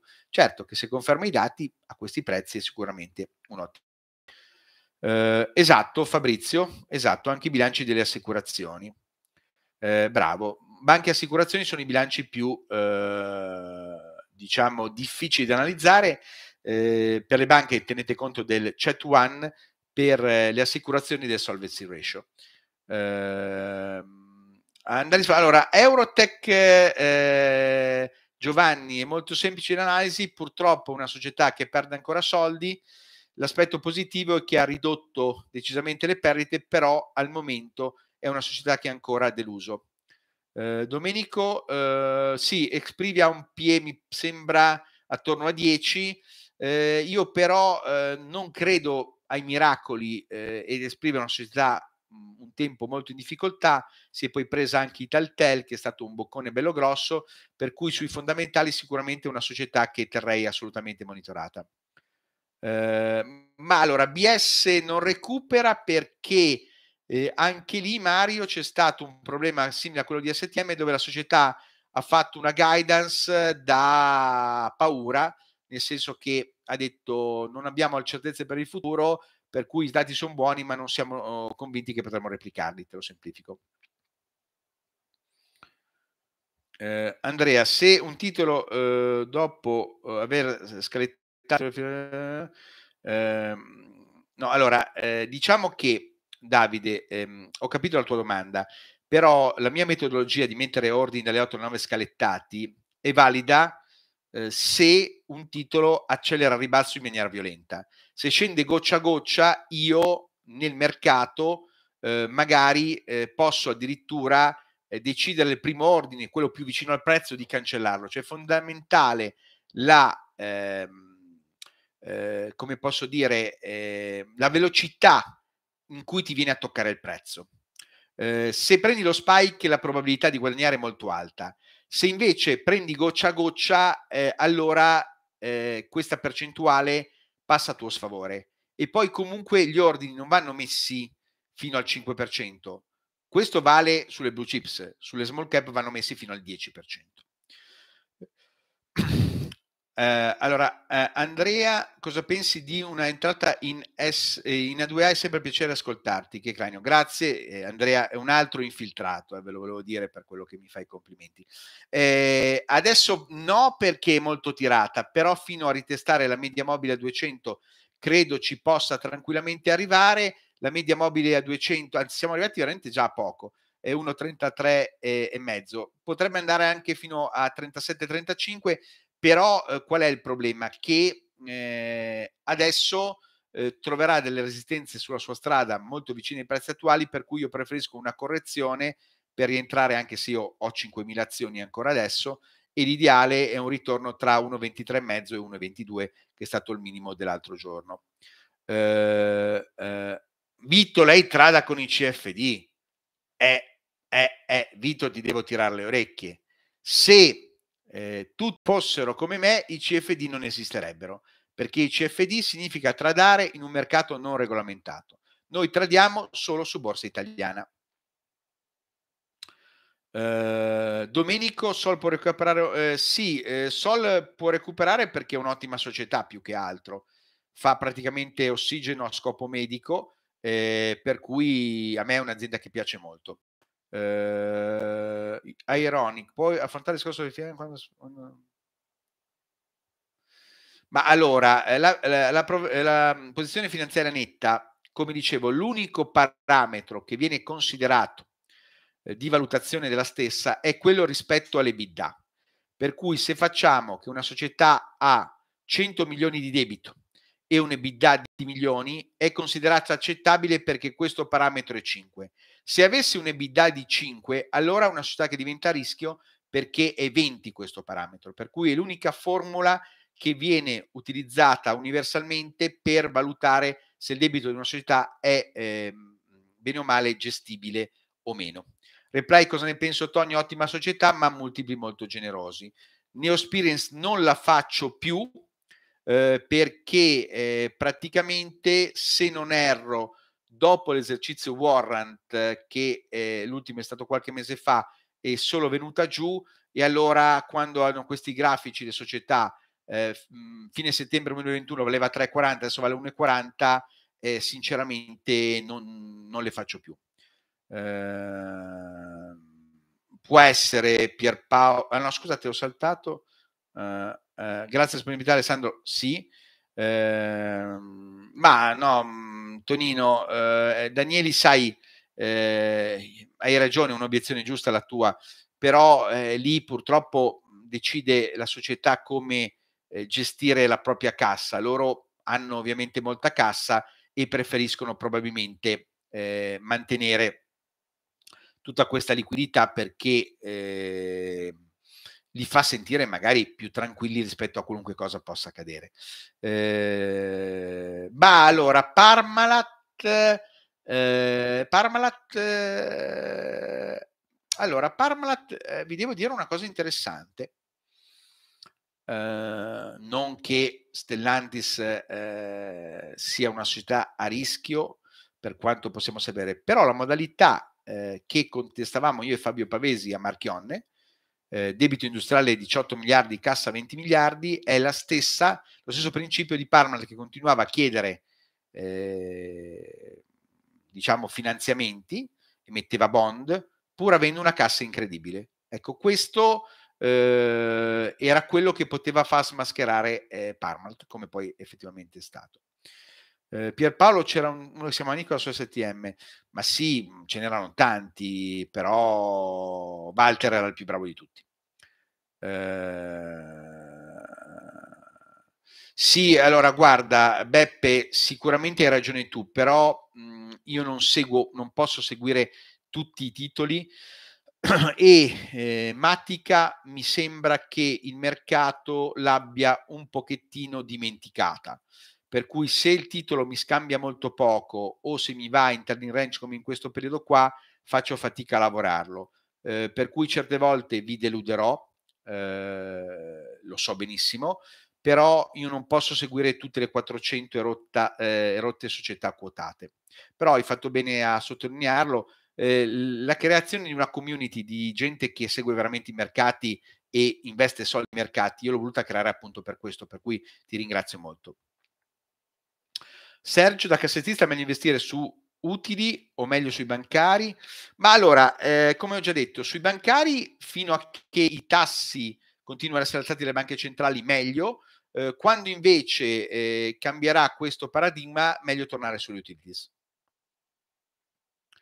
Ma eh, Carlo sì, però questo è un ragazzo che arrivava a fare mille eseguiti al giorno, per cui ovviamente è una cosa che non, non, non è, diciamo, possibile replicare fortunatamente, perché sennò si impazzirebbe. Vediamo un attimo uh, se qua c'è già Energy o non, non c'è ancora. Non c'è ancora qui. Uh, fatemi vedere. Sì, Energy, crescita di utile fatturato. Ma allora, mi ricordo che ho visto passare i dati, eh, però eh, non è facile da fare eh, Energy come titolo per noi, però sicuramente ti prometto che andrò a guardarmela e poi, e poi vedremo. Eh, ma allora, su Unin avevo molti dubbi, però non è che le ho azzeccate tutte. Li avevo su Mondo TV, per esempio. Perché su Mondo TV li avevo? Perché Mondo TV eh, usciva quando valeva 7 euro ogni giorno, ogni due giorni con un nuovo accordo. E allora dico, eh, mi sembra incredibile.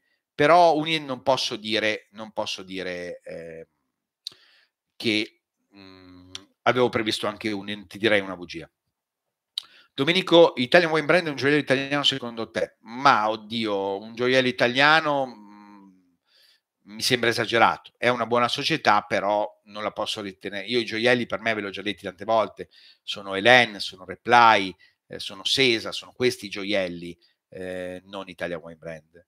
Eh, Masi Agricola Paolo interessante perché comunque ha investito bene eh, anche Renzo Rosso, eh, i numeri non mi sembrano male, per cui mi sembra una società molto interessante. Eh, come fai nella fare il buyback? Eh, eh, Sergio, e come fa a dare un dividendo sempre generoso? Eh, nel, ma perché ovviamente è il governo che lo chiede fondamentalmente, secondo me. Eh, quali sono i contenuti della newsletter, Gianni? Eh, ma allora eh, facciamo così: eh, mi scrivi in privato info chiocciola andreacartesiano.it e ti mando un numero gratuito così la guardi e te ne fai un idea, poi al limite mi ricontatti. Eh, Raffaello, cosa mi dice degli opzionisti istituzionali che tanti sottolineano posizioni ma che vengono smentiti? Eh, opzionisti istituzionali. No, però scusami, eh, degli istituzionali di solito non, non, vengono eh, ovviamente fornite le posizioni in opzioni eh, eh, ma le posizioni short più che altro le posizioni long, perché quando viene raggiunta una, sorta, eh, una soglia eh, di capitale detenuto va comunicato obbligatoriamente. Eh, io non so eh, a cosa tu ti riferisca, magari riscrivino Raffaello, però in realtà noi abbiamo accesso soprattutto a questo perché c'è l'obbligo di, consum- di, con- di comunicazione a Consob sia delle posizioni long sopra il 2% che delle posizioni a short. Adesso mi sembra che sia lo 0,5 l'obbligo di comunicazione sullo short. Uh, Marco, come mai eh, Gas, Snam Eterna? Ma allora sono i migliori non tanto solo per i dividendi, ma perché storicamente sono stati i titoli più resilienti, perché hanno tenuto il debito sotto controllo il mercato li ha considerati i difensivi per l'eccellenza ancora molto di più di una 2A, di una Enel, di una Era, di una Iren, per cui è per questo motivo che se sono un cassettista preferisco andare su questi titoli. Eh, cosa ne pensi di Moncler Matteo? Ne ho già parlato, ottima società che però adesso secondo me è ehm, ehm, valutata correttamente se, eh, come ho detto prima, devo fare un piccolo rimprovero eh, a eh, Remo Ruffini e che, visto che eh, ha fatto questa acquisizione così importante di CP Company, che è il marchio più importante è Stone Island, ovviamente eh, è importante vedere i dati annuali e in, di conseguenza avrei pubblicato nei dati trimestrali anche EBITDA, EBIT utile netto e non solo il fatturato. FinLogic la vedo come alternativa, però non so a cosa. Comunque fin, FinLogic fa codice a barra, eh Datalogic fa i lettori e FinLogic fa codice a barre. Tra l'altro Datalogic ha il 5% di FinLogic. Eh, Alessandro, non apri sulla forza? No, no, no, no, no, no. Alessandro, io di solito no e quando lo faccio me ne pento sempre. Sei un grande Andrea Domenico. Grazie, ma me lo dicono tutti. Scherzo. Anzi, devo dire che eh, io sono o particolarmente amato o particolarmente detestato. Eh, qual è l'indice della volatilità di un titolo? Ma eh, lì è semplicemente c'è il beta che praticamente è l'oscillazione di un titolo rispetto all'andamento di mercato. Quindi si usa di solito il beta. Eh, Maurizio Doif Lufthansa. Ora, eh, devo dire che le compagnie aeree hanno rimbalzato bene dai minimi. Eh, Lufthansa addirittura era andata a 5,5 adesso a 7,5. Eh, rientrerei solo su un po' di correzione, almeno eh, se deve tornare a 7. Eh, poi eh, il webinar di due settimane fa è disponibile eh, integralmente Alberto? No, per due motivi, per tre motivi.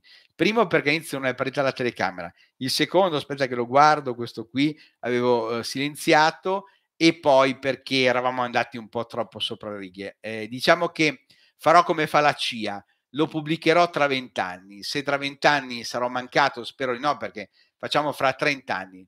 Vediamo, fra 30 anni, almeno 80 anni fatemi arrivare e dirò a qualche mio esecutore tas- eh, testamentario di pubblicarlo. Eh, allora, Patrizio, ma allora sai, dipende, io ci devo vivere il trading. Eh, io invidio molti miei colleghi che non operano in borsa, per cui a loro non gli interessa niente. Per cui io eh, sicuramente fino a fine anno sarò un po' più aggressivo sul mercato, eh, a inizio anno cercherò di essere molto conservativo perché mi aspetto che questo rialzo sia andato un po' oltre quello che i dati macro potevano eh, riservarci e di conseguenza eh, il nuovo anno possa esserci, nuovo anno possa, possa esserci una correzione. Ma allora, post io sono uscito, l'ho detto, l'avevo in portafoglio di medio-lungo periodo e eh, Devo dire che adesso mi aspetto una correzione fino alla media mobile a 200 che è 9,04 poi eventualmente fino alla media mobile a 50 che è 8,60 lì probabilmente prenderei, eh, prenderei nuova posizione sul titolo. Come ho già detto io poi posso sbagliare mi aspetto al limite una correzione di breve e poi un ritorno sui massimi o addirittura magari sopra area 25.000, però sarebbe un eccesso, ecco, questo ci tengo a dirlo, e di conseguenza Poste tornerebbe su. Italmobiliare Antonio è un'ottima società dimenticata dal mercato, ha un portafoglio pazzesco, una holding. Eh, sinceramente l'ideale per me è un ritorno sui 24, 24 e mezzo, li proverei a entrare. Eh, Andrea, in percentuale di interesse usi maggiormente il book o le bande di oscillazione? No, no, beh, allora il book serve per vedere come eh, ci sono gli ordini più importanti eh, ai quali appoggiarsi, però il lavoro è principalmente sulle bande di oscillazione. Eh, no, beh, mm, scusami Antonio perché poi c'è il messaggio da vedere in mezzo, è molto bella eh, come azienda, eh, Italmobiliare come holding, per cui sicuramente sì. Eh, Domenico, da quando seguo il tuo canale non riesco più a ascoltare gli altri telesi di classe NBC, mi fanno sonno. Ma oddio, sai, io ti dico che sinceramente, come ho già detto tante altre volte, ci sono per esempio dei trader molto più bravi di me che voi non conoscete. Eh, io quello che mi inorgoglisce, questo ve lo voglio ribadire, è che i miei amici top trader, trader che hanno fatto milioni di euro eh, negli ultimi vent'anni e non uno o due milioni, eh, hanno comunque grande stima di me perché sanno che sono tutti i giorni sul mercato e sanno il lavoro di formatore che ho fatto negli anni. Ho iniziato con Millennium Sim nel 2003, quindi non è da poco tempo che insegno a fare trading e eh, non ho mai lavorato, anche se può sembrarmi un paradosso, con l'obiettivo di guadagnare dei soldi dalla mia attività di formatore, eh, come invece molti miei colleghi fanno e, e, questo dagli altri trader è molto apprezzato perché comunque eh, io ho sempre provato a guadagnarmi la pagnotta facendo trading poi magari ho, ris- ho avuto risultati meno brillanti rispetto a loro, però mh, mhmm, per questo motivo mi hanno sempre rispettato tanto. Uh, ironic. Um, no, beh, allora non ti posso dire tutto di Emerick, se no poi mi eh, banna da classi NBC. Questo te lo posso dire. Lui è un trader eh, intraday e molto attento agli stop. Questo te lo posso dire. Uh, il Bund scenderà ancora Domenico e guardo se ce l'ho qui al volo perché se non ce l'ho non ti posso rispondere adesso perché eh, io non lo trado. Uh, per cui guarda, non ce l'ho il grafico qui, credo, fammi vedere, non credo di averlo al volo, per cui magari quando mi mandi la mail scrivimelo così mi ricordo di guardartelo, perché io faccio trading su azioni italiane, per cui quello che non trado eh, sinceramente me ne interesso eh, poco. Eh, Beppe, ti ringrazio, ma eh, sappiate che io sono molto presuntuoso e molto egocentrico, però paradossalmente sono anche molto umile. Se voi mi fate notare un qualcosa che non so, io ne prendo atto perché parto da questa concezione, che io conosco bene eh, 300 società quotate, però all'interno di queste 300 voi ne conoscete alcune molto meglio di me perché magari dedicate eh, il vostro interesse a un numero più ristretto e su questo numero più ristretto ne sapete più di me. Eh, Claudio, oltre al PIE guardo il rapporto fatturato utili, basso debito, sì, no, no, certo, certo Claudio, assolutamente. Ah, ecco, scusate, devo segnalarvi un altro infiltrato, Alberto. Eh, a questi prezzi d'amico ti sembra sopravvalutata, mi chiede. Allora, D'Amico non è sopravvalutata assolutamente perché è tornata all'utile. Quest'anno rischia di fare 100 milioni D'Amico, però il problema di D'Amico è che è veramente molto tirata come grafico, per cui se torna a 0, eh, 31 e mezzo direi, magari anche 0,30, io entro, eh, adesso voglio che scarichi un po' l'ipercomprato, però non è, non è cara perché sì, un debito di 453 milioni, vado a memoria, però è una società che mi piace molto. Uh, Domenico, quanti titoli segui al giorno? Ma un centinaio almeno, sì. Ah, cioè io ne seguo 300 per tutto l'anno, poi sono, io lavoro su 300 titoli tutto l'anno, poi in un mese magari lavoro su 50 o 100, secondo di come si muovono. Ma eh, se sei tu, adesso non mi ricordo, che vuoi entrare nella mia scuderia, lo scoprirai. Eh. Eh, intesa se i tassi di interesse, eh, ma, ma, non è che è sopravvalutata Giuseppe, però indubbiamente le banche potrebbero anche eh, correggere perché secondo me non è stata ancora affrontata seriamente la questione NPL. Eh, Marco, come si può reperire notizie di mercato eh, online visto che non sempre è possibile? Grazie. Eh, lì il numero uno è ovviamente Livio, dovresti chiederlo lui più che a me, io uso solo due siti di notizie. Il problema è che Borsa Italia sarebbe anche efficiente, ma è in ritardo, per cui devi dotarti di qualche servizio a pagamento. Ne abbiamo già parlato anche due sabati fa. Bloomberg purtroppo costa 25 mila dollari l'anno, Reuters costa meno. Noi usiamo eh, siti eh, a pagamento ma più economici, però eh, purtroppo bisogna pagare per avere notizie in tempo reale. Eh, Fope eh, gran gioiello, dice Jordan. Eh, Jordan, FOP è un vero gioiello, però non ce la fanno più toccare. Il problema è questo qui. Ecco, vedete, Livio, quasi due ore costantemente centri diciamo che sei un discreto analista. Sì, ho capito. E tu sei un discreto trader, però sei diventato un po' troppo, diciamo, volatile come trader. Claudio, mettete like ad Andrea. Siamo a 99. Vediamo se lo posso. No, io non lo posso mettere perché almeno a 100 fateci arrivare. Dai. Scherzo, non è importante. Eh, Mario merita almeno 500. Ma sai, eh, allora magari col tempo ci arriveremo anche, però eh, oggi mi sono imposto di non parlare male dei miei colleghi, però questa cosa fatemela dire. La mia amarezza, quando ogni tanto vedete che ho qualche sfogo, è che purtroppo io da trader esperto vedo che la maggior parte dell'offerta che c'è online eh, su YouTube, gli youtuber che ci occupano in finanza, secondo me si vede lontano un miglio che non fanno trading e vi vendono oltretutto dei servizi a pagamento costosissimi eh, per cui eh, questa è un po' la mia amarezza, perché non danno un buon servizio, probabilmente si arricchiscono alle spalle di chi paga loro dei corsi e le persone che pagano poi ne escono, secondo me, con il rammarico di aver pagato dei soldi e aver imparato poco nulla. Eh, Carlo ci saluta, eh, lo saluto anch'io. Eh,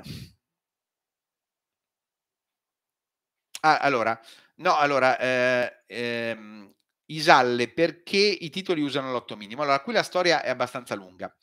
Cercherò ovviamente di essere breve. Una volta c'era l'otto minimo in borsa per tutti. Adesso è un eh, criterio che viene utilizzato solo nel mercato AIM, che oggi si chiama Growth Italia, e solo per pochi titoli, perché viene usato, secondo me andrebbe ripristinato, perché l'otto minimo ti tutela, soprattutto sui titoli sottili, da quella che è la battuta eh, di un'azione per allargare lo spread, perché quando c'è grande spread di book magari c'è tra denaro e lettera anche un 3-4% e ovviamente eh, se fai battere un pezzo eh, puoi far allargare a rialzo o a ribasso lo spread fare una variazione importante ed è per quello che era stato introdotto il lotto minimo. Eh, eh, ho capito, eh, Livio.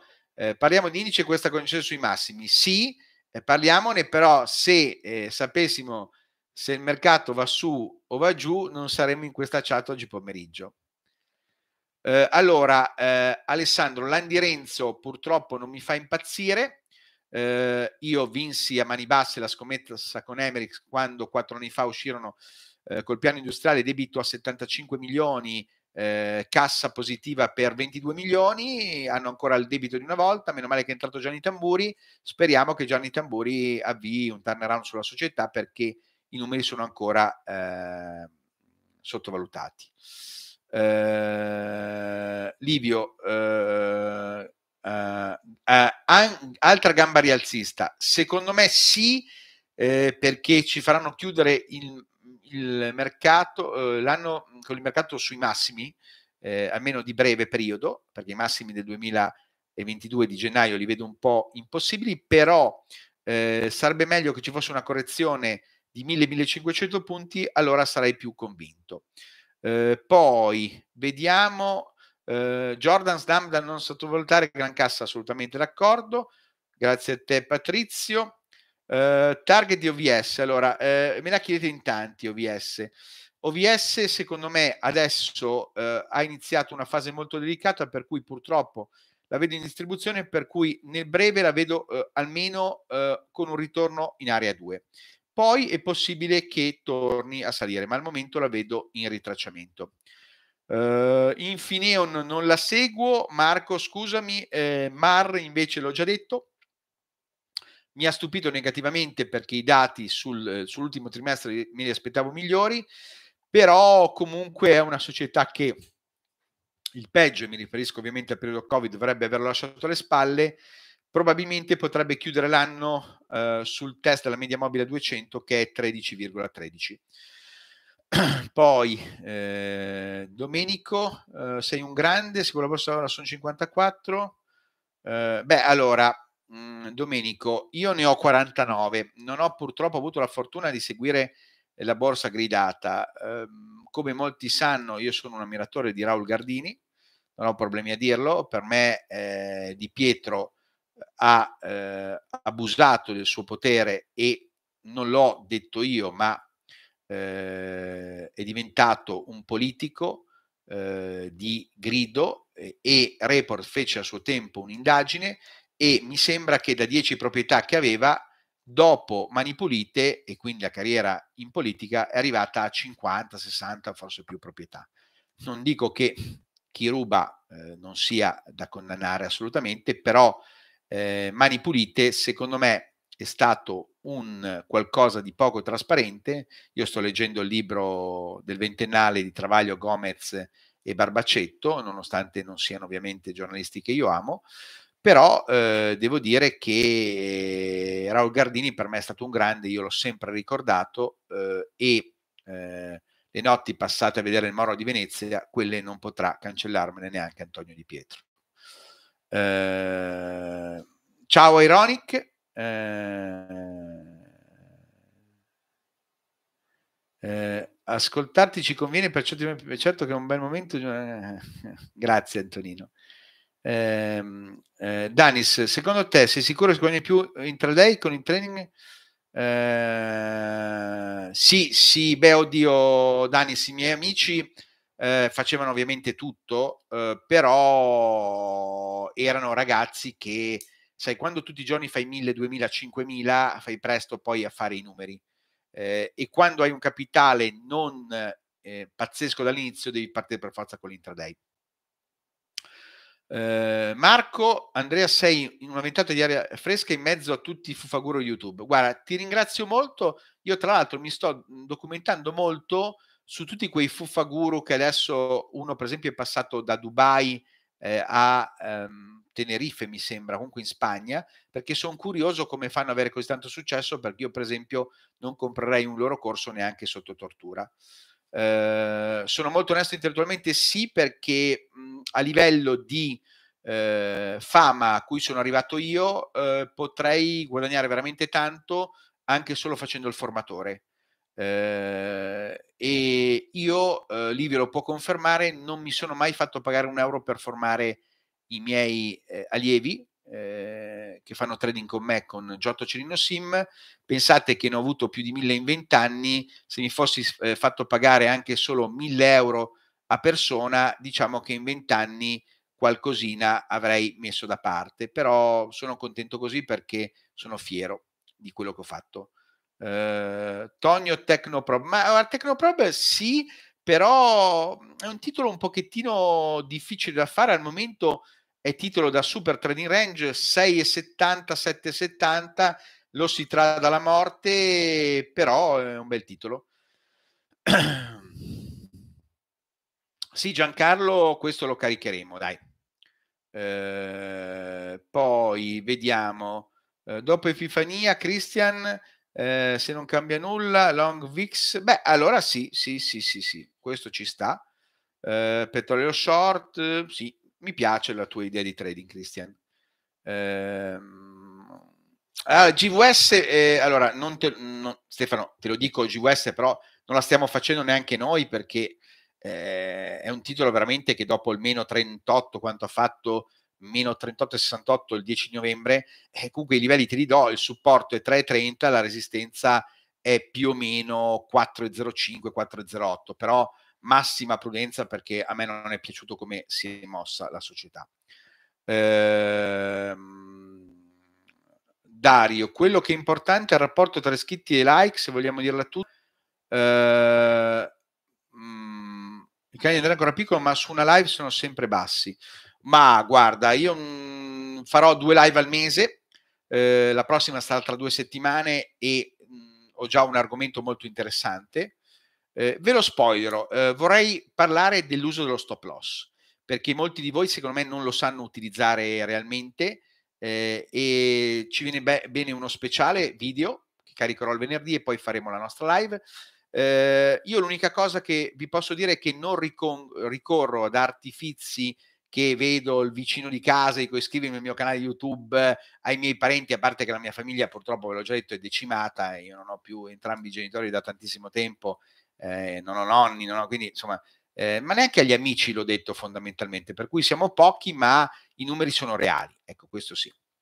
Eh, Alberto, spero che questa diretta sia disponibile integralmente, credo proprio di sì, eh, perché a meno che non commetti degli errori tecnologici la caricheremo, monumentale diciamo che sei fine esagerato. Eh, Antonio, come eh, leggere la parità di Unicredit? Ma secondo me Unicredit di breve dovrebbe essere finalmente un po' arrivata. Eh, io credo che il titolo fino a 12,5 ci possa scendere, ma al momento è una normale presa di profitto. Eh. Eh, consiglio Andrea, quando rispondi leggi la voce domande perché essendo sfalsate rispetto a quelle visualizzate non sappiamo a cosa rispondi. Eh, ti ringrazio De- Danis, ma sai io sono un po' limitato a livello informatico, però lo farò. Eh, Frank, spero che tu riesca a trovare il tempo per questi podcast, per il periodo di mercato che ci arrivano ogni giorno. Per me questi appuntamenti sono diventati sacri, ma sì, devo dire assolutamente sì.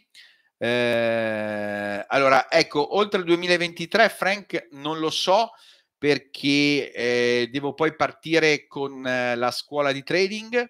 Ehm, probabilmente farò altri progetti imprenditoriali.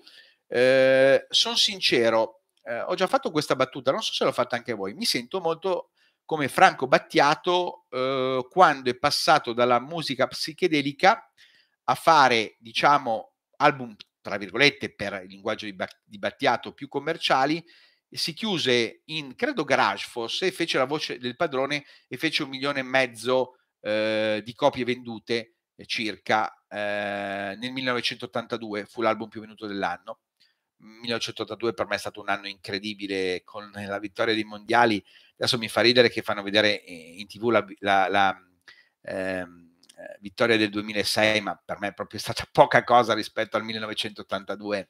Io vi dico la verità, cioè, sì, ho, ho festeggiato, ma vi dico che la gioia che mi ha dato il 1982 è assolutamente imparagonabile.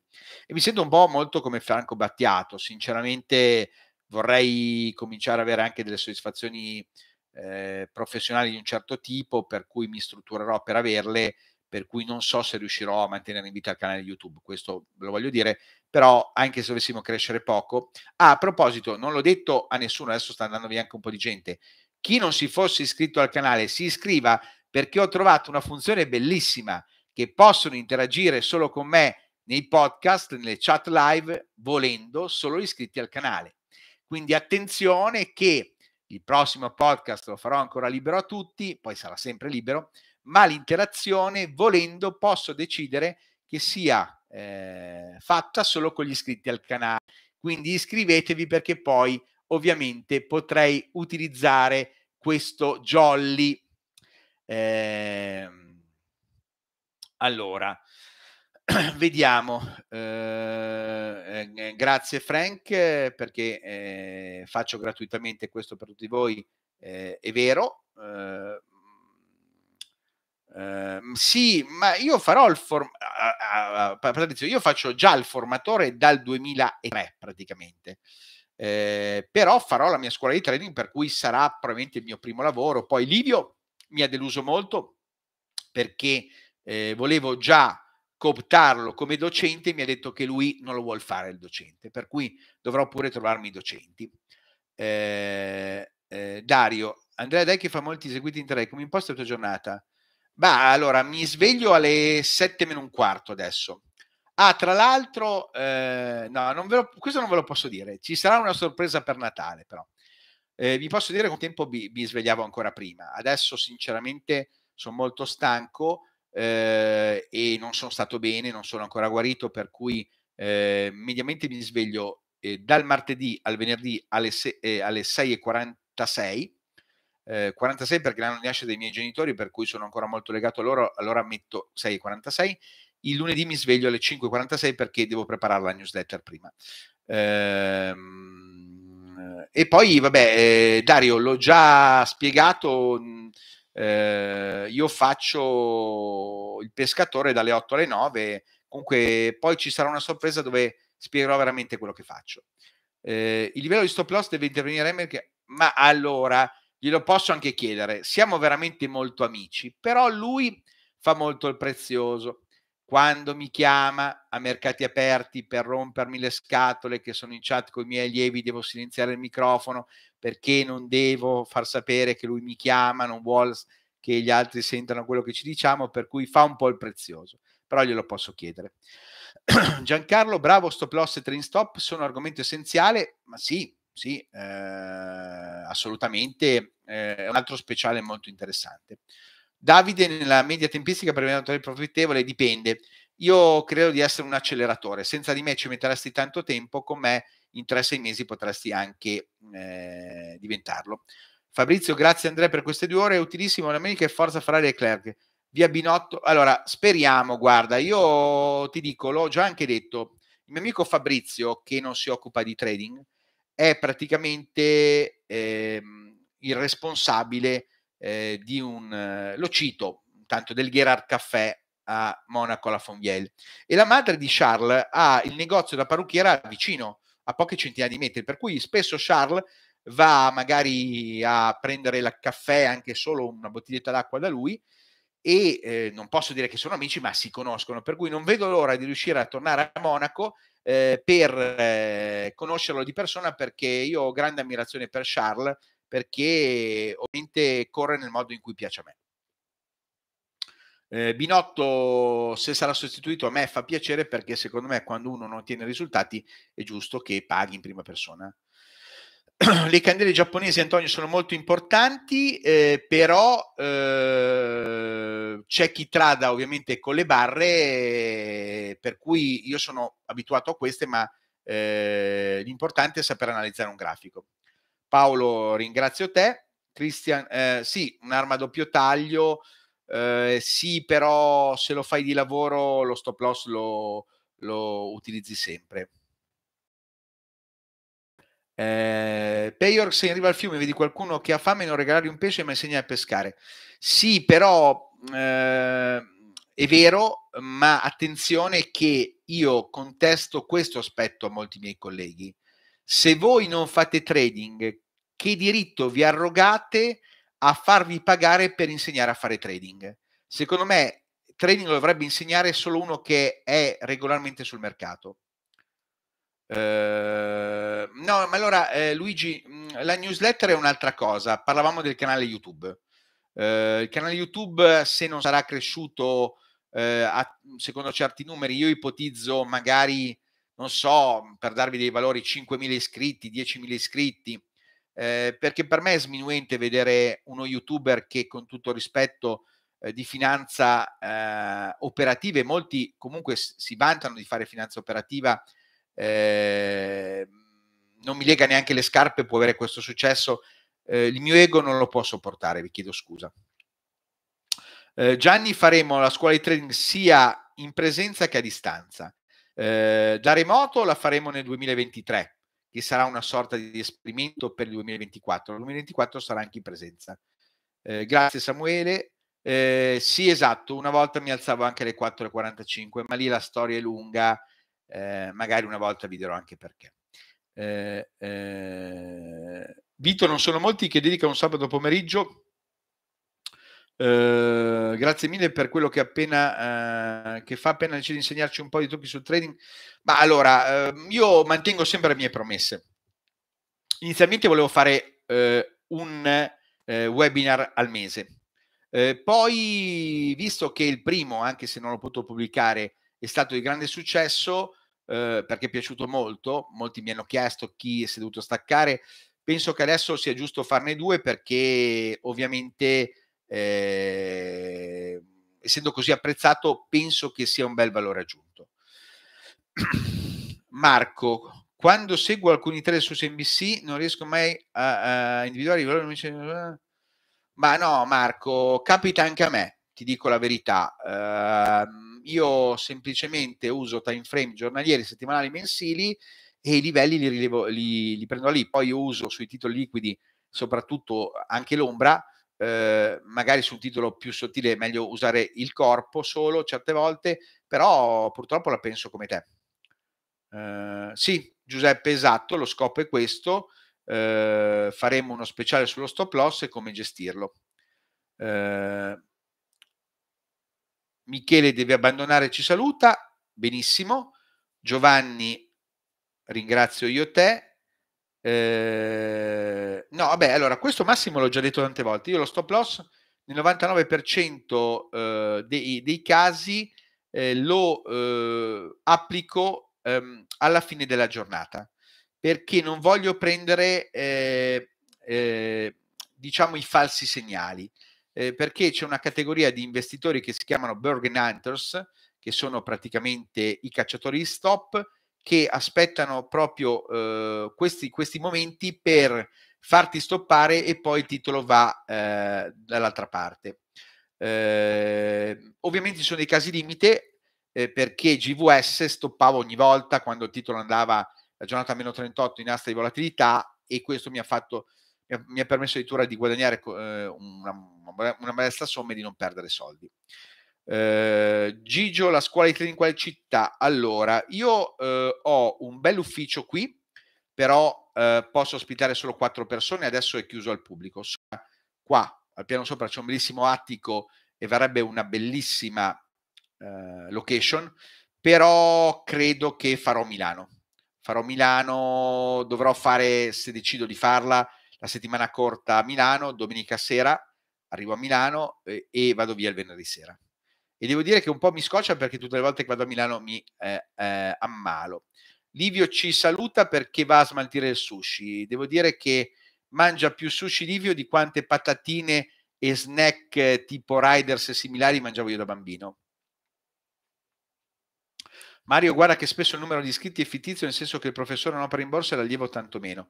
Sì, però sono sincero, per il mio ego è una bella umiliazione. Eh, Alberto, sei il mio DLF preferito, eh, però non so cosa vuol dire DLF, scusa la mia ignoranza.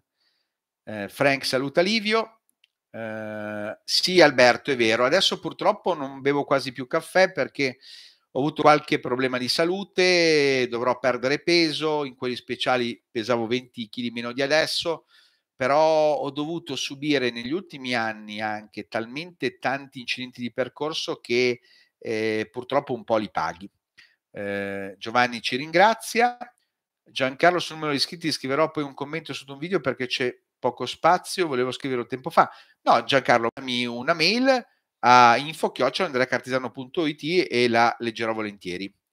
Uh, uh, oddio, uh, Domenico, secondo te si può fare trading se è un lavoro ordinario che dopo 8 riceve al giorno? Guarda, me lo chiedono in tanti.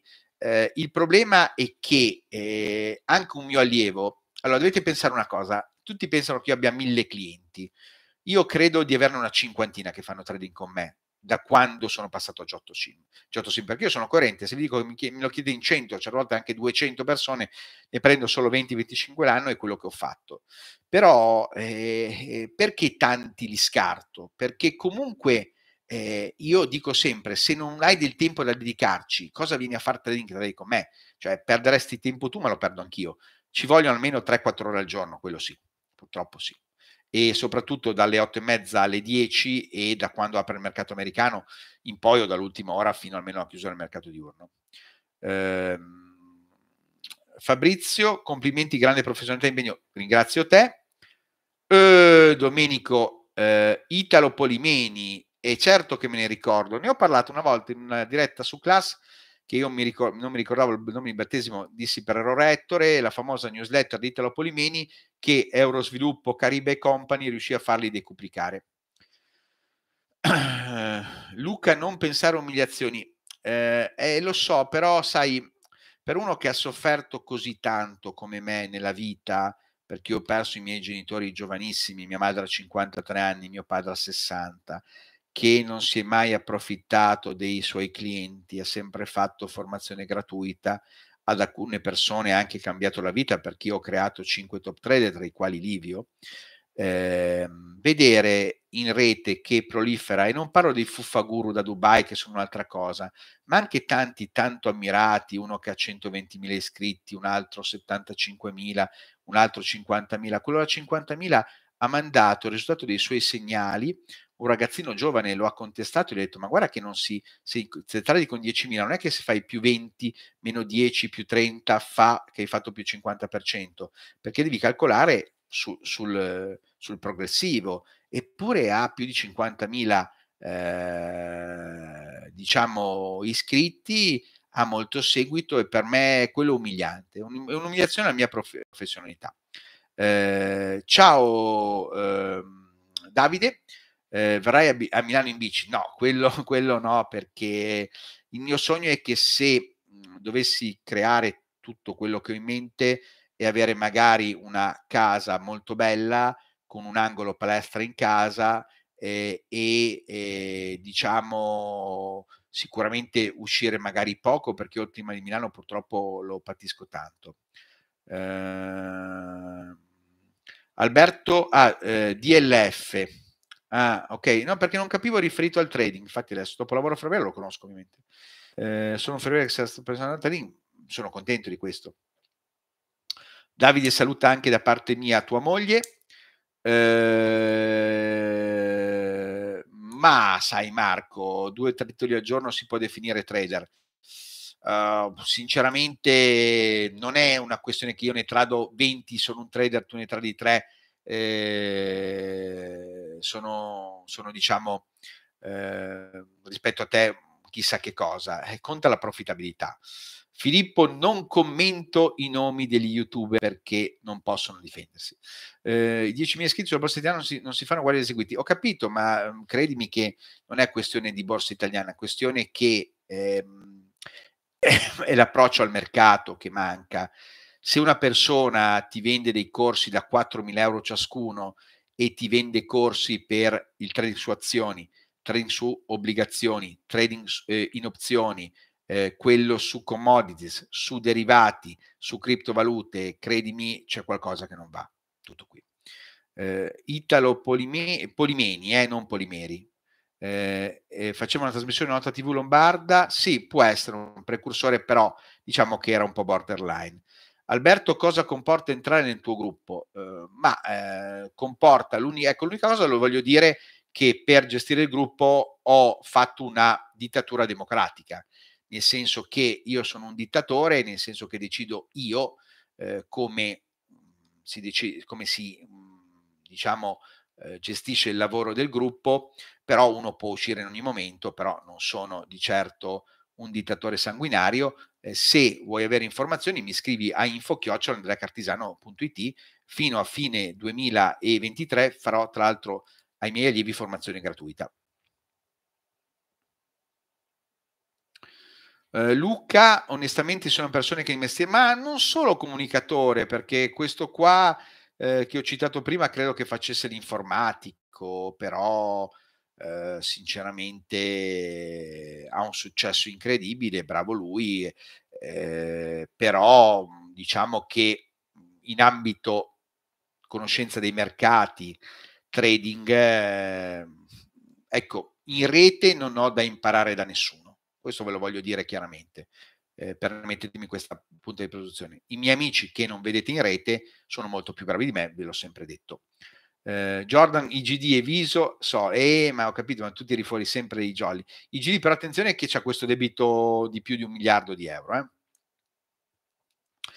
Ma no, però in realtà mi piace, però mi piace non per fare trading, perché una volta credo che si potesse fare anche trading con Pro Real Time, eh, potevi addirittura comprare sul grafico. Io uso un software esterno per l'analisi tecnica e uso invece Sfera per fare trading, però non... Eh, eh, Alberto, e ho capito Alberto, Alberto scrive, mi preme farti sapere che quando ti ho conosciuto ho apprezzato la tua competenza, chiarezza e trasparenza, però Alberto è nel mio gruppo che tutti i giorni si ritrova in chat vocale su Skype, per cui prendete con le pinze le sue affermazioni perché potrebbero anche eh, essere, diciamo, di parte, o meglio, sono di parte.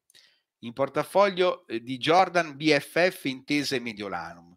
Eh, ma ho capito, ma tu eh, eh, sei, sei, un cecchino, quindi è difficile che tu sbagli.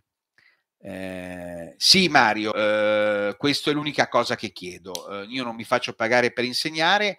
Eh, chi entra nel gruppo apre un conto trading con Giotto Celino Sim, piattaforma Sfera Advance. Fino a fine anno c'è la promozione per la piattaforma gratuita, l'eseguito a 2,5 euro, dal 1 gennaio l'eseguito sale a 3 euro eh, e hai compreso nel pacchetto, se vieni seguito da me, tre mesi di eh, chat live vocale su Skype tutti i giorni e il sabato eh, facciamo, oggi non l'abbiamo fatto perché i miei allievi mi hanno concesso una mezza giornata di ferie perché non sto benissimo eh, e praticamente ehm, eh, normalmente facciamo ogni sabato mattina il webinar eh, preparatorio alla settimana successiva. Eh, due euro e mezzo sì, eh, però solo fino a fine anno eh, in promozione. praticamente 3 euro eseguito. Ma guarda che lo scalping non esiste più come esisteva una volta, ok? Ehm, nel senso che eh, anche se c'è uno youtuber, in questo caso bravissimo, che ha criticato Emery e parzialmente anche me, io eh, ho conosciuto tutti, cioè il più bravo, eh, la più eh, importante scuola di trading eh, intraday italiana, al di là di Millennium Sim, di prop trading, è stata la Safe di Milano io bravi come Ivano ne ho conosciuti pochi, Ivano faceva qualche milione ogni anno, ma perché? Perché il mercato italiano scambiava più di 5 miliardi di euro al giorno, i tic sui titoli erano diversi e loro avevano un pacchetto con Fineco dove pagavano un euro a eseguito di media ok? Quindi non, non, è un problema dei 3 euro, perché oggi io faccio magari 50-100 eseguiti al giorno, ma un mio allievo ne può fare anche 10-20 e non fa scalping, fa trading intraday. Frank, quando aprirai la tua scuola, che a noi parla tre meno volte, eh, sono già in ansia. E adesso, Frank, innanzitutto io pensavo che fosse un nickname il tuo, perché quando ascolto gli Oasis alzo il volume in macchina, questo eh, fa, fa, fa, fammelo dire. Giuseppe, mi fa piacere aver partecipato a diretta, mi hanno detto, eh, sono contento. Eh, tra l'altro, Scalpi, eh, allora guarda, ehm, eh, oggi mi ero ripromesso, eh, ma no, allora, quello non è vero, non è vero Mario. Poi è ovvio che eh, se tu lavori tanto, puoi chiedere all'intermediario di farti pagare meno di 3 euro, però devi lavorare tanto perché Directa fa pagare 5, Fineco fa pagare 10, con Fineco puoi scendere forse a 2,95, però con tutto rispetto né Directa né Fineco ti danno Andrea Cartisano che ti insegna a tradare. Insomma, penso che 3 euro eseguito eh, di valerli, ok? Eh, Marco, dicevo scalping the bull. Eh, io penso che lui sia bravissimo, sia bravissimo. Eh, fa, mi pare, molto cripto, eh, probabilmente a tradare anche molto più bravo di me, però eh, io considero che lui sbagli quando dice che lo scalping lo fa tutti i giorni. Eh, per noi lo scalping era, erano i 100-200 eseguiti al giorno, Walter ne faceva 500.000 eh, e si faceva quel trading perché eh, c'era più liquidità, vedevi il codice delle controparti, poi probabilmente è un trader fenomenale, però ehm, eh, anch'io sto in posizione certe volte, l'altro giorno, ieri ho fatto GTH, ambiente, oggi si chiama Greentesis, sono stato in, in posizione 30 secondi, eh, però eh, sinceramente ehm, non è che mi ritengo uno scalper. Eh, lo scalper, Ivano di cui vi ho parlato, faceva denaro lettera su Unicredit a fare scalping, ok? Long short oltretutto. Eh, però magari poi ci ritorneremo. Però io ci tengo a dire che nonostante abbia attaccato il mio amico Emerick, credo che Scalping the Bull sia veramente molto bravo, eh, forse eh, online eh, uno dei più preparati in assoluto perché ho visto i suoi risultati, per cui tanto di cappello. Uh, un ragazzo entrato nel gruppo, ma allora dipende, io ho questo ragazzo Riccardo che adesso è con me da qualche anno, eh, prima faceva trading solo il pomeriggio quando tornava alla scuola, adesso a 23 anni guadagna più di me, per cui non c'è una risposta univoca Alessandro, può essere qualche mese come chi non ci riesce neanche. Vedi Vito paga 9,95, eh, quindi esiste ancora Safe... Eh, eh, ah no, no, no, no, no, scusami, eh, Safe no, non più, non più perché quando sono cambiati eh, i TIC e si sono ridotti gli scambi su Borsa Italia, Safe ha iniziato a operare sui mercati esteri, eh, Germania, Spagna, Francia, forse qualcosa in Olanda, poi Polonia e Norvegia e poi ha chiuso.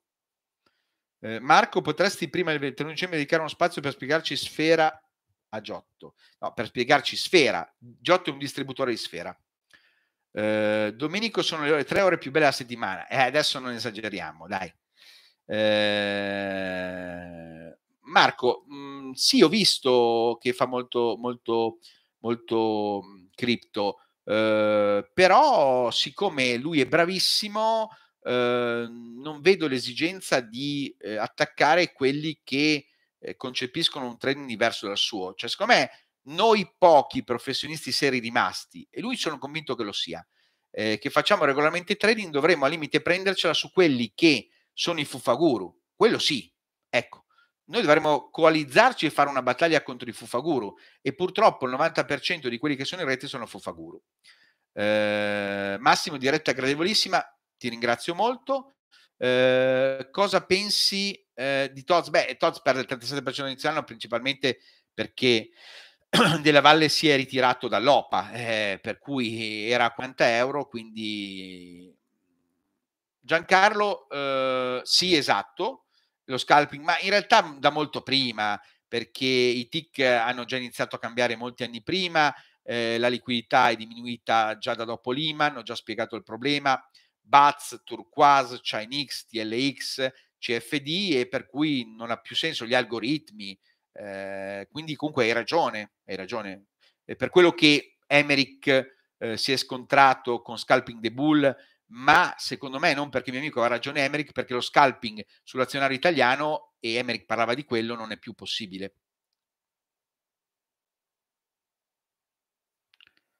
G- eh, grande macchinetta 3 euro, eh, non sono tanto.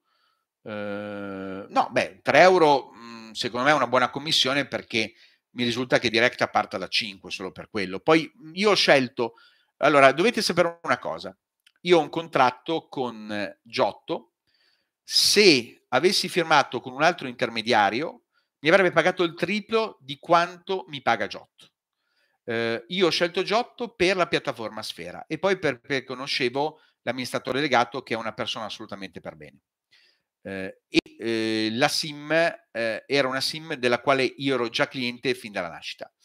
Eh, ma allora, eh, Marco, io, sai, non facendo cripto non so giudicare, però ti ripeto, eh, lui ha molto successo e il suo successo credo che sia meritato. Mario, pensiamo a noi, ma sai, sì, però secondo me ci sono dei, degli youtuber di successo per come vedo io il trading, gli investimenti sono paragonabili a Fuffaguru, ma la gente non lo capisce. Uh, oddio, Luca Locarini, mm, sì, ebbe grande successo a fine anni 90, sicuramente l'ho perso di vista, credo che sia preparato, assolutamente. Bah, può essere che sia uno schema Ponzi, adesso non lo so. Eh, scusami, però, Augusto Ansaldo, uh, non capisco a cosa tu ti riferisca perché non è più quotata da tempo in borsa Ansaldo. Uh, WeBuild, uh, ne ho già parlato tante volte, ottima società ma debito mostruoso, ha questi backlog pazzeschi, questo portafoglio ordini pazzesco, ma poi alla fine è sempre zavorata dal debito. Ci sono delle percentuali, eh, Domenico, da dedicare ai, ai titoli in base al capitale disponibili? Sì, esatto, può essere giusto, però magari dipende dal capitale, perché se hai purtroppo solo 20.000 euro, eh, in SNAM puoi metterne anche 3.000 che è il 15%. Eh, Michele, domanda interessante. Chi ha voluto la polverizzazione dei TIC? Tante volte penso che abbiano dato fastidio ai trader, questo lo voglio dire chiaramente. Fausto, ti saluto, anche perché poi tra poco siamo in chiusura, non possiamo fare proprio quattro ore. Eh, io ho seguito la trasmissione, era con Lapidari, lui ha, ha, solo liquidato la cosa troppo in fretta. Ah, sì, sì, Giancarlo, ho capito, ma sì, ma mhmm, Emerick comunque non perché mio amico è molto preparato, di finanza è forse il giornalista più preparato, per cui mhmm, secondo me ha detto una verità, lo scalping non è più quello di eh, pre-Lehman, ecco, usiamo questo. Eh, allora, no, allora, funziona così, eh, Marco, mi devi scrivere in privato perché ti devo spiegare perché hai una serie di vantaggi aprire il conto con me eh, rispetto a aprirlo direttamente e sono ovviamente vantaggi di costi eh, e ehm, comunque mh, se mh, nell'iscrizione al canale al, al, al sito eh, che è Giotto Cino Sim spunti nel menu a tendina il mio nome e cognome perché io sono anche un consulente finanziario iscritto all'albo praticamente succede questo, che io sono autorizzato a seguirti e di conseguenza se hai un problema ti rivolgi direttamente a me e poi... Eh, ma allora, eh, Augusto, eh, scusami, Ansaldo se faranno DC, sinceramente non essendo più quotati in borsa, io eh, non, cioè non essendo quotate in borsa, perché poi erano quotate in borsa Saldo Trasporti, non me ne interesso, ti chiedo scusa. Esatto, Fabrizio, e Enel aveva il TIC 005. Eh, purtroppo Fab, i titoli come radici scambiano talmente poco che mh, mhmm, sinceramente eh, anch'io, mh, mhmm, per esempio, è un titolo che non guardo più, per cui se un titolo scambia sotto certe soglie vi consiglio di non guardarlo proprio più. Eh, Alberto, perché il debito è così nocivo per la quotazione in borsa?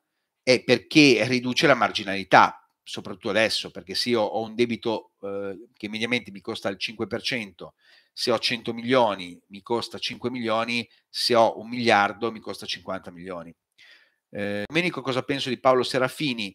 Eh, Paolo è un amico, però ehm, non, eh, avevo detto che non avrei più espresso giudizi sui miei colleghi eh, perché comunque voglio pubblicare questo video, per cui eh, eh, evitate magari di farmi questi, queste domande perché eh, su Paolo non ho problemi perché, ripeto, è una persona che stimo, eh, però magari c'è qualche mio collega che stimo meno e non voglio eh, giustamente creare problemi. Però il mio giudizio sappiate che non è per invidia perché io sono quello che guadagna meno di tutti, eh, di quelli che vedete in tv, eh, perché ho fatto la mia scelta, non ho eh, mai perseguito questa corsa alla formazione a pagamento, ne vado fiero, molti altri miei colleghi non l'hanno fatto, è una loro scelta, io quello che contesto è che secondo me molti eh, fanno formazione a pagamento senza essere sul mercato.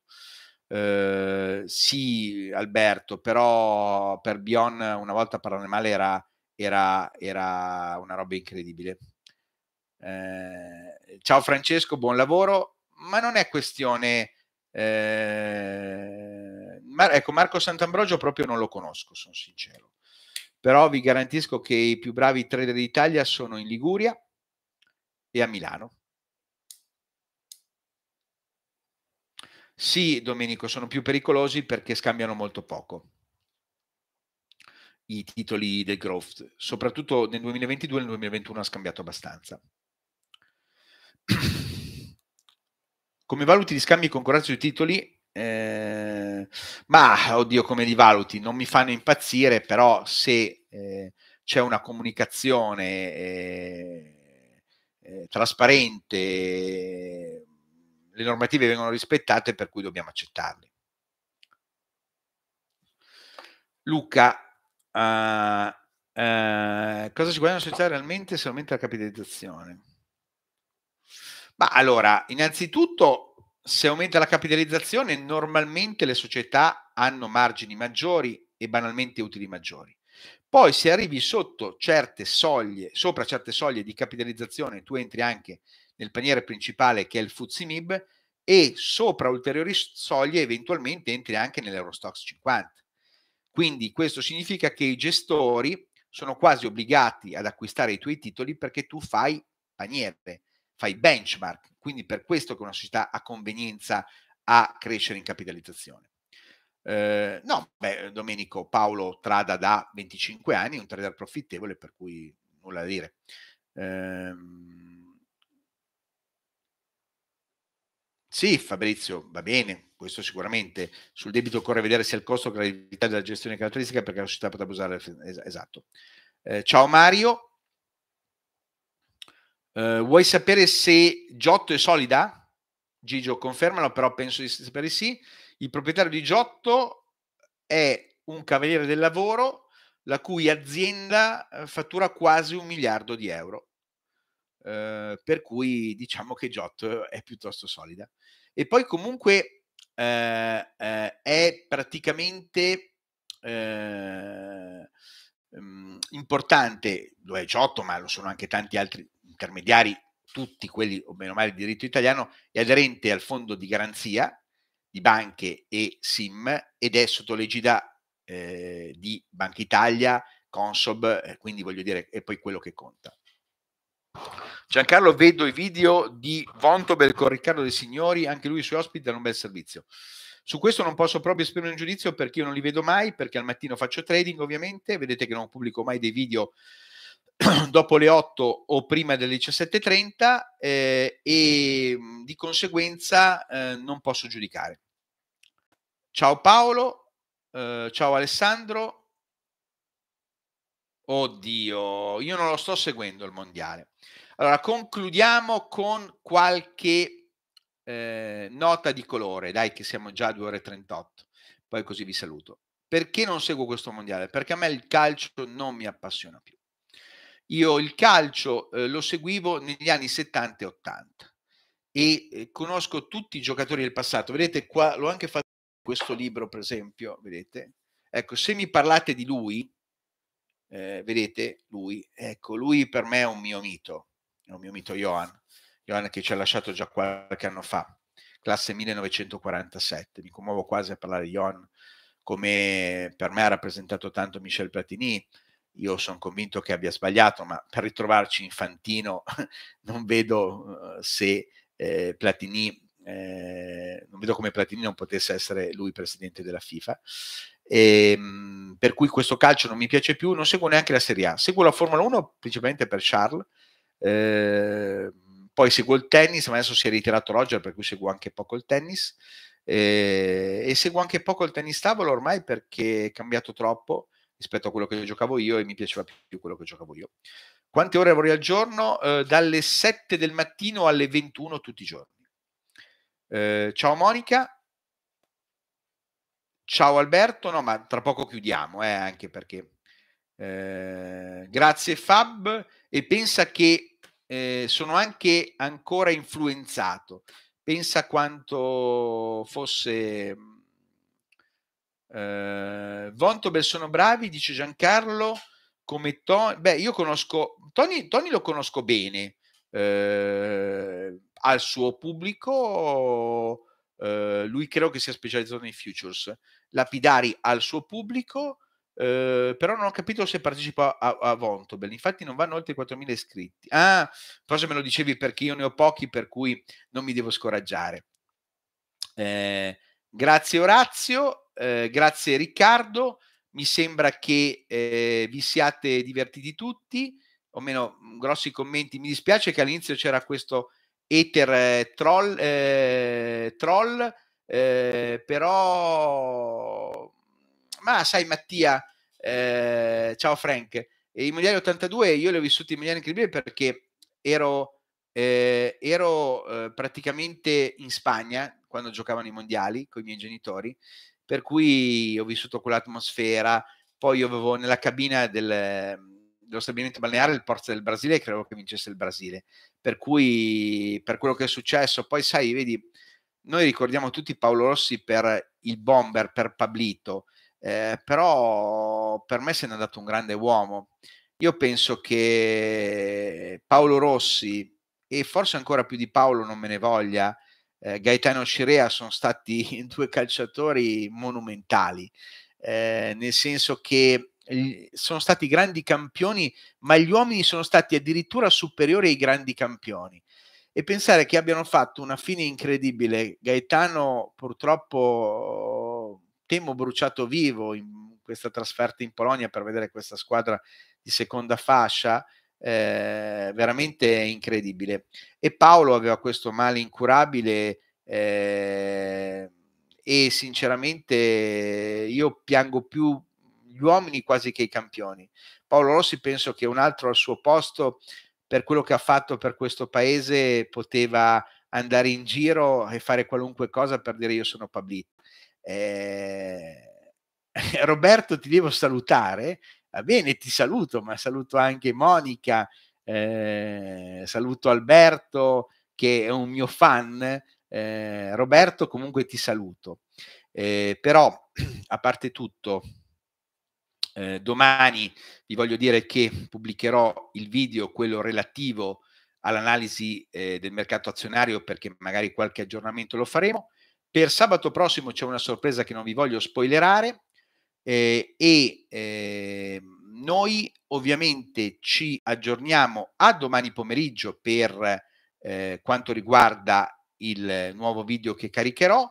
Poi eh, voglio preparare anche una sezione di titoli che in base a studi approfonditi, ciao Antonio, eh, vorrei eh, inserire nel canale come titoli non correttamente magari valutati dal, merta- dal mercato, che il mercato li valuta in maniera magari non eh, consona.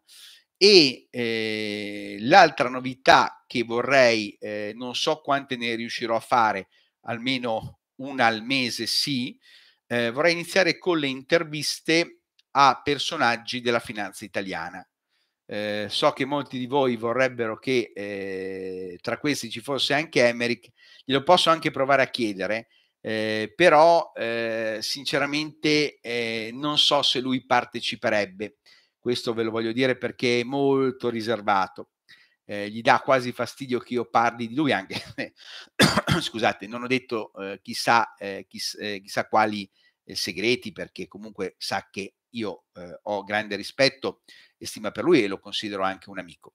Però, eh, a parte tutto, eh, io vi ringrazio delle manifestazioni di affetto eh, che avete eh, per me, eh, perché comunque abbiamo creato in eh, meno di due mesi già una bella community. Poi non vi preoccupate che non mi farò condizionare dal fatto che il canale magari abbia meno successo rispetto a quello che io potevo ipotizzare ho visto prima Giancarlo, se non parli di Fuffa non arrivi a 20-30 mila iscritti, probabilmente è così, però io non è che voglio mettermi a eh, imitare gli youtuber di successo. Io sono questo, eh, se non vengo apprezzato come loro, pazienza, però per me, avendo avuto questo percorso di vita, come vi spiegavo, molto particolare, molto pieno di ostacoli, eh, per me l'etica è fondamentale. Mio padre eh, diciamo, eh, mi ha dato un insegnamento di vita, non perché mia madre non meritasse, era una nonna eccezionale, eh, opposto a quello che diceva il grande scrittore Stendhal. L'onestà è la virtù della gente da poco. Mio padre mi ha sempre detto cerca di essere onesto qualunque cosa tu faccia, indipendentemente dal risultato che raggiungerai. E, e io cerco di fare, eh, ecco, di mettere in pratica i loro insegnamenti. Io eh, ho eh, scelto questo percorso di vita e di eh, formatore ehm, eh, senza farmi per esempio pagare per vent'anni perché volevo che ci fosse eh, un esempio eh, dell'insegnamento che mi hanno dato i miei genitori e così so di onorarli eh, tutti i giorni e magari eh, potrei già essere ricco, eh, però le mie scelte mi hanno reso fiero. Eh, in ogni caso, siamo arrivati a due ore e tre quarti. Direi che saluto tutti. Ci eh, eh, sentiamo in maniera indiretta domani per eh, il nostro consueto, eh, consueta analisi di mercato azionario e fra due settimane arriverà il terzo webinar da molti veramente, eh, secondo me, atteso con trepidazione. Auguro un buon weekend a tutti.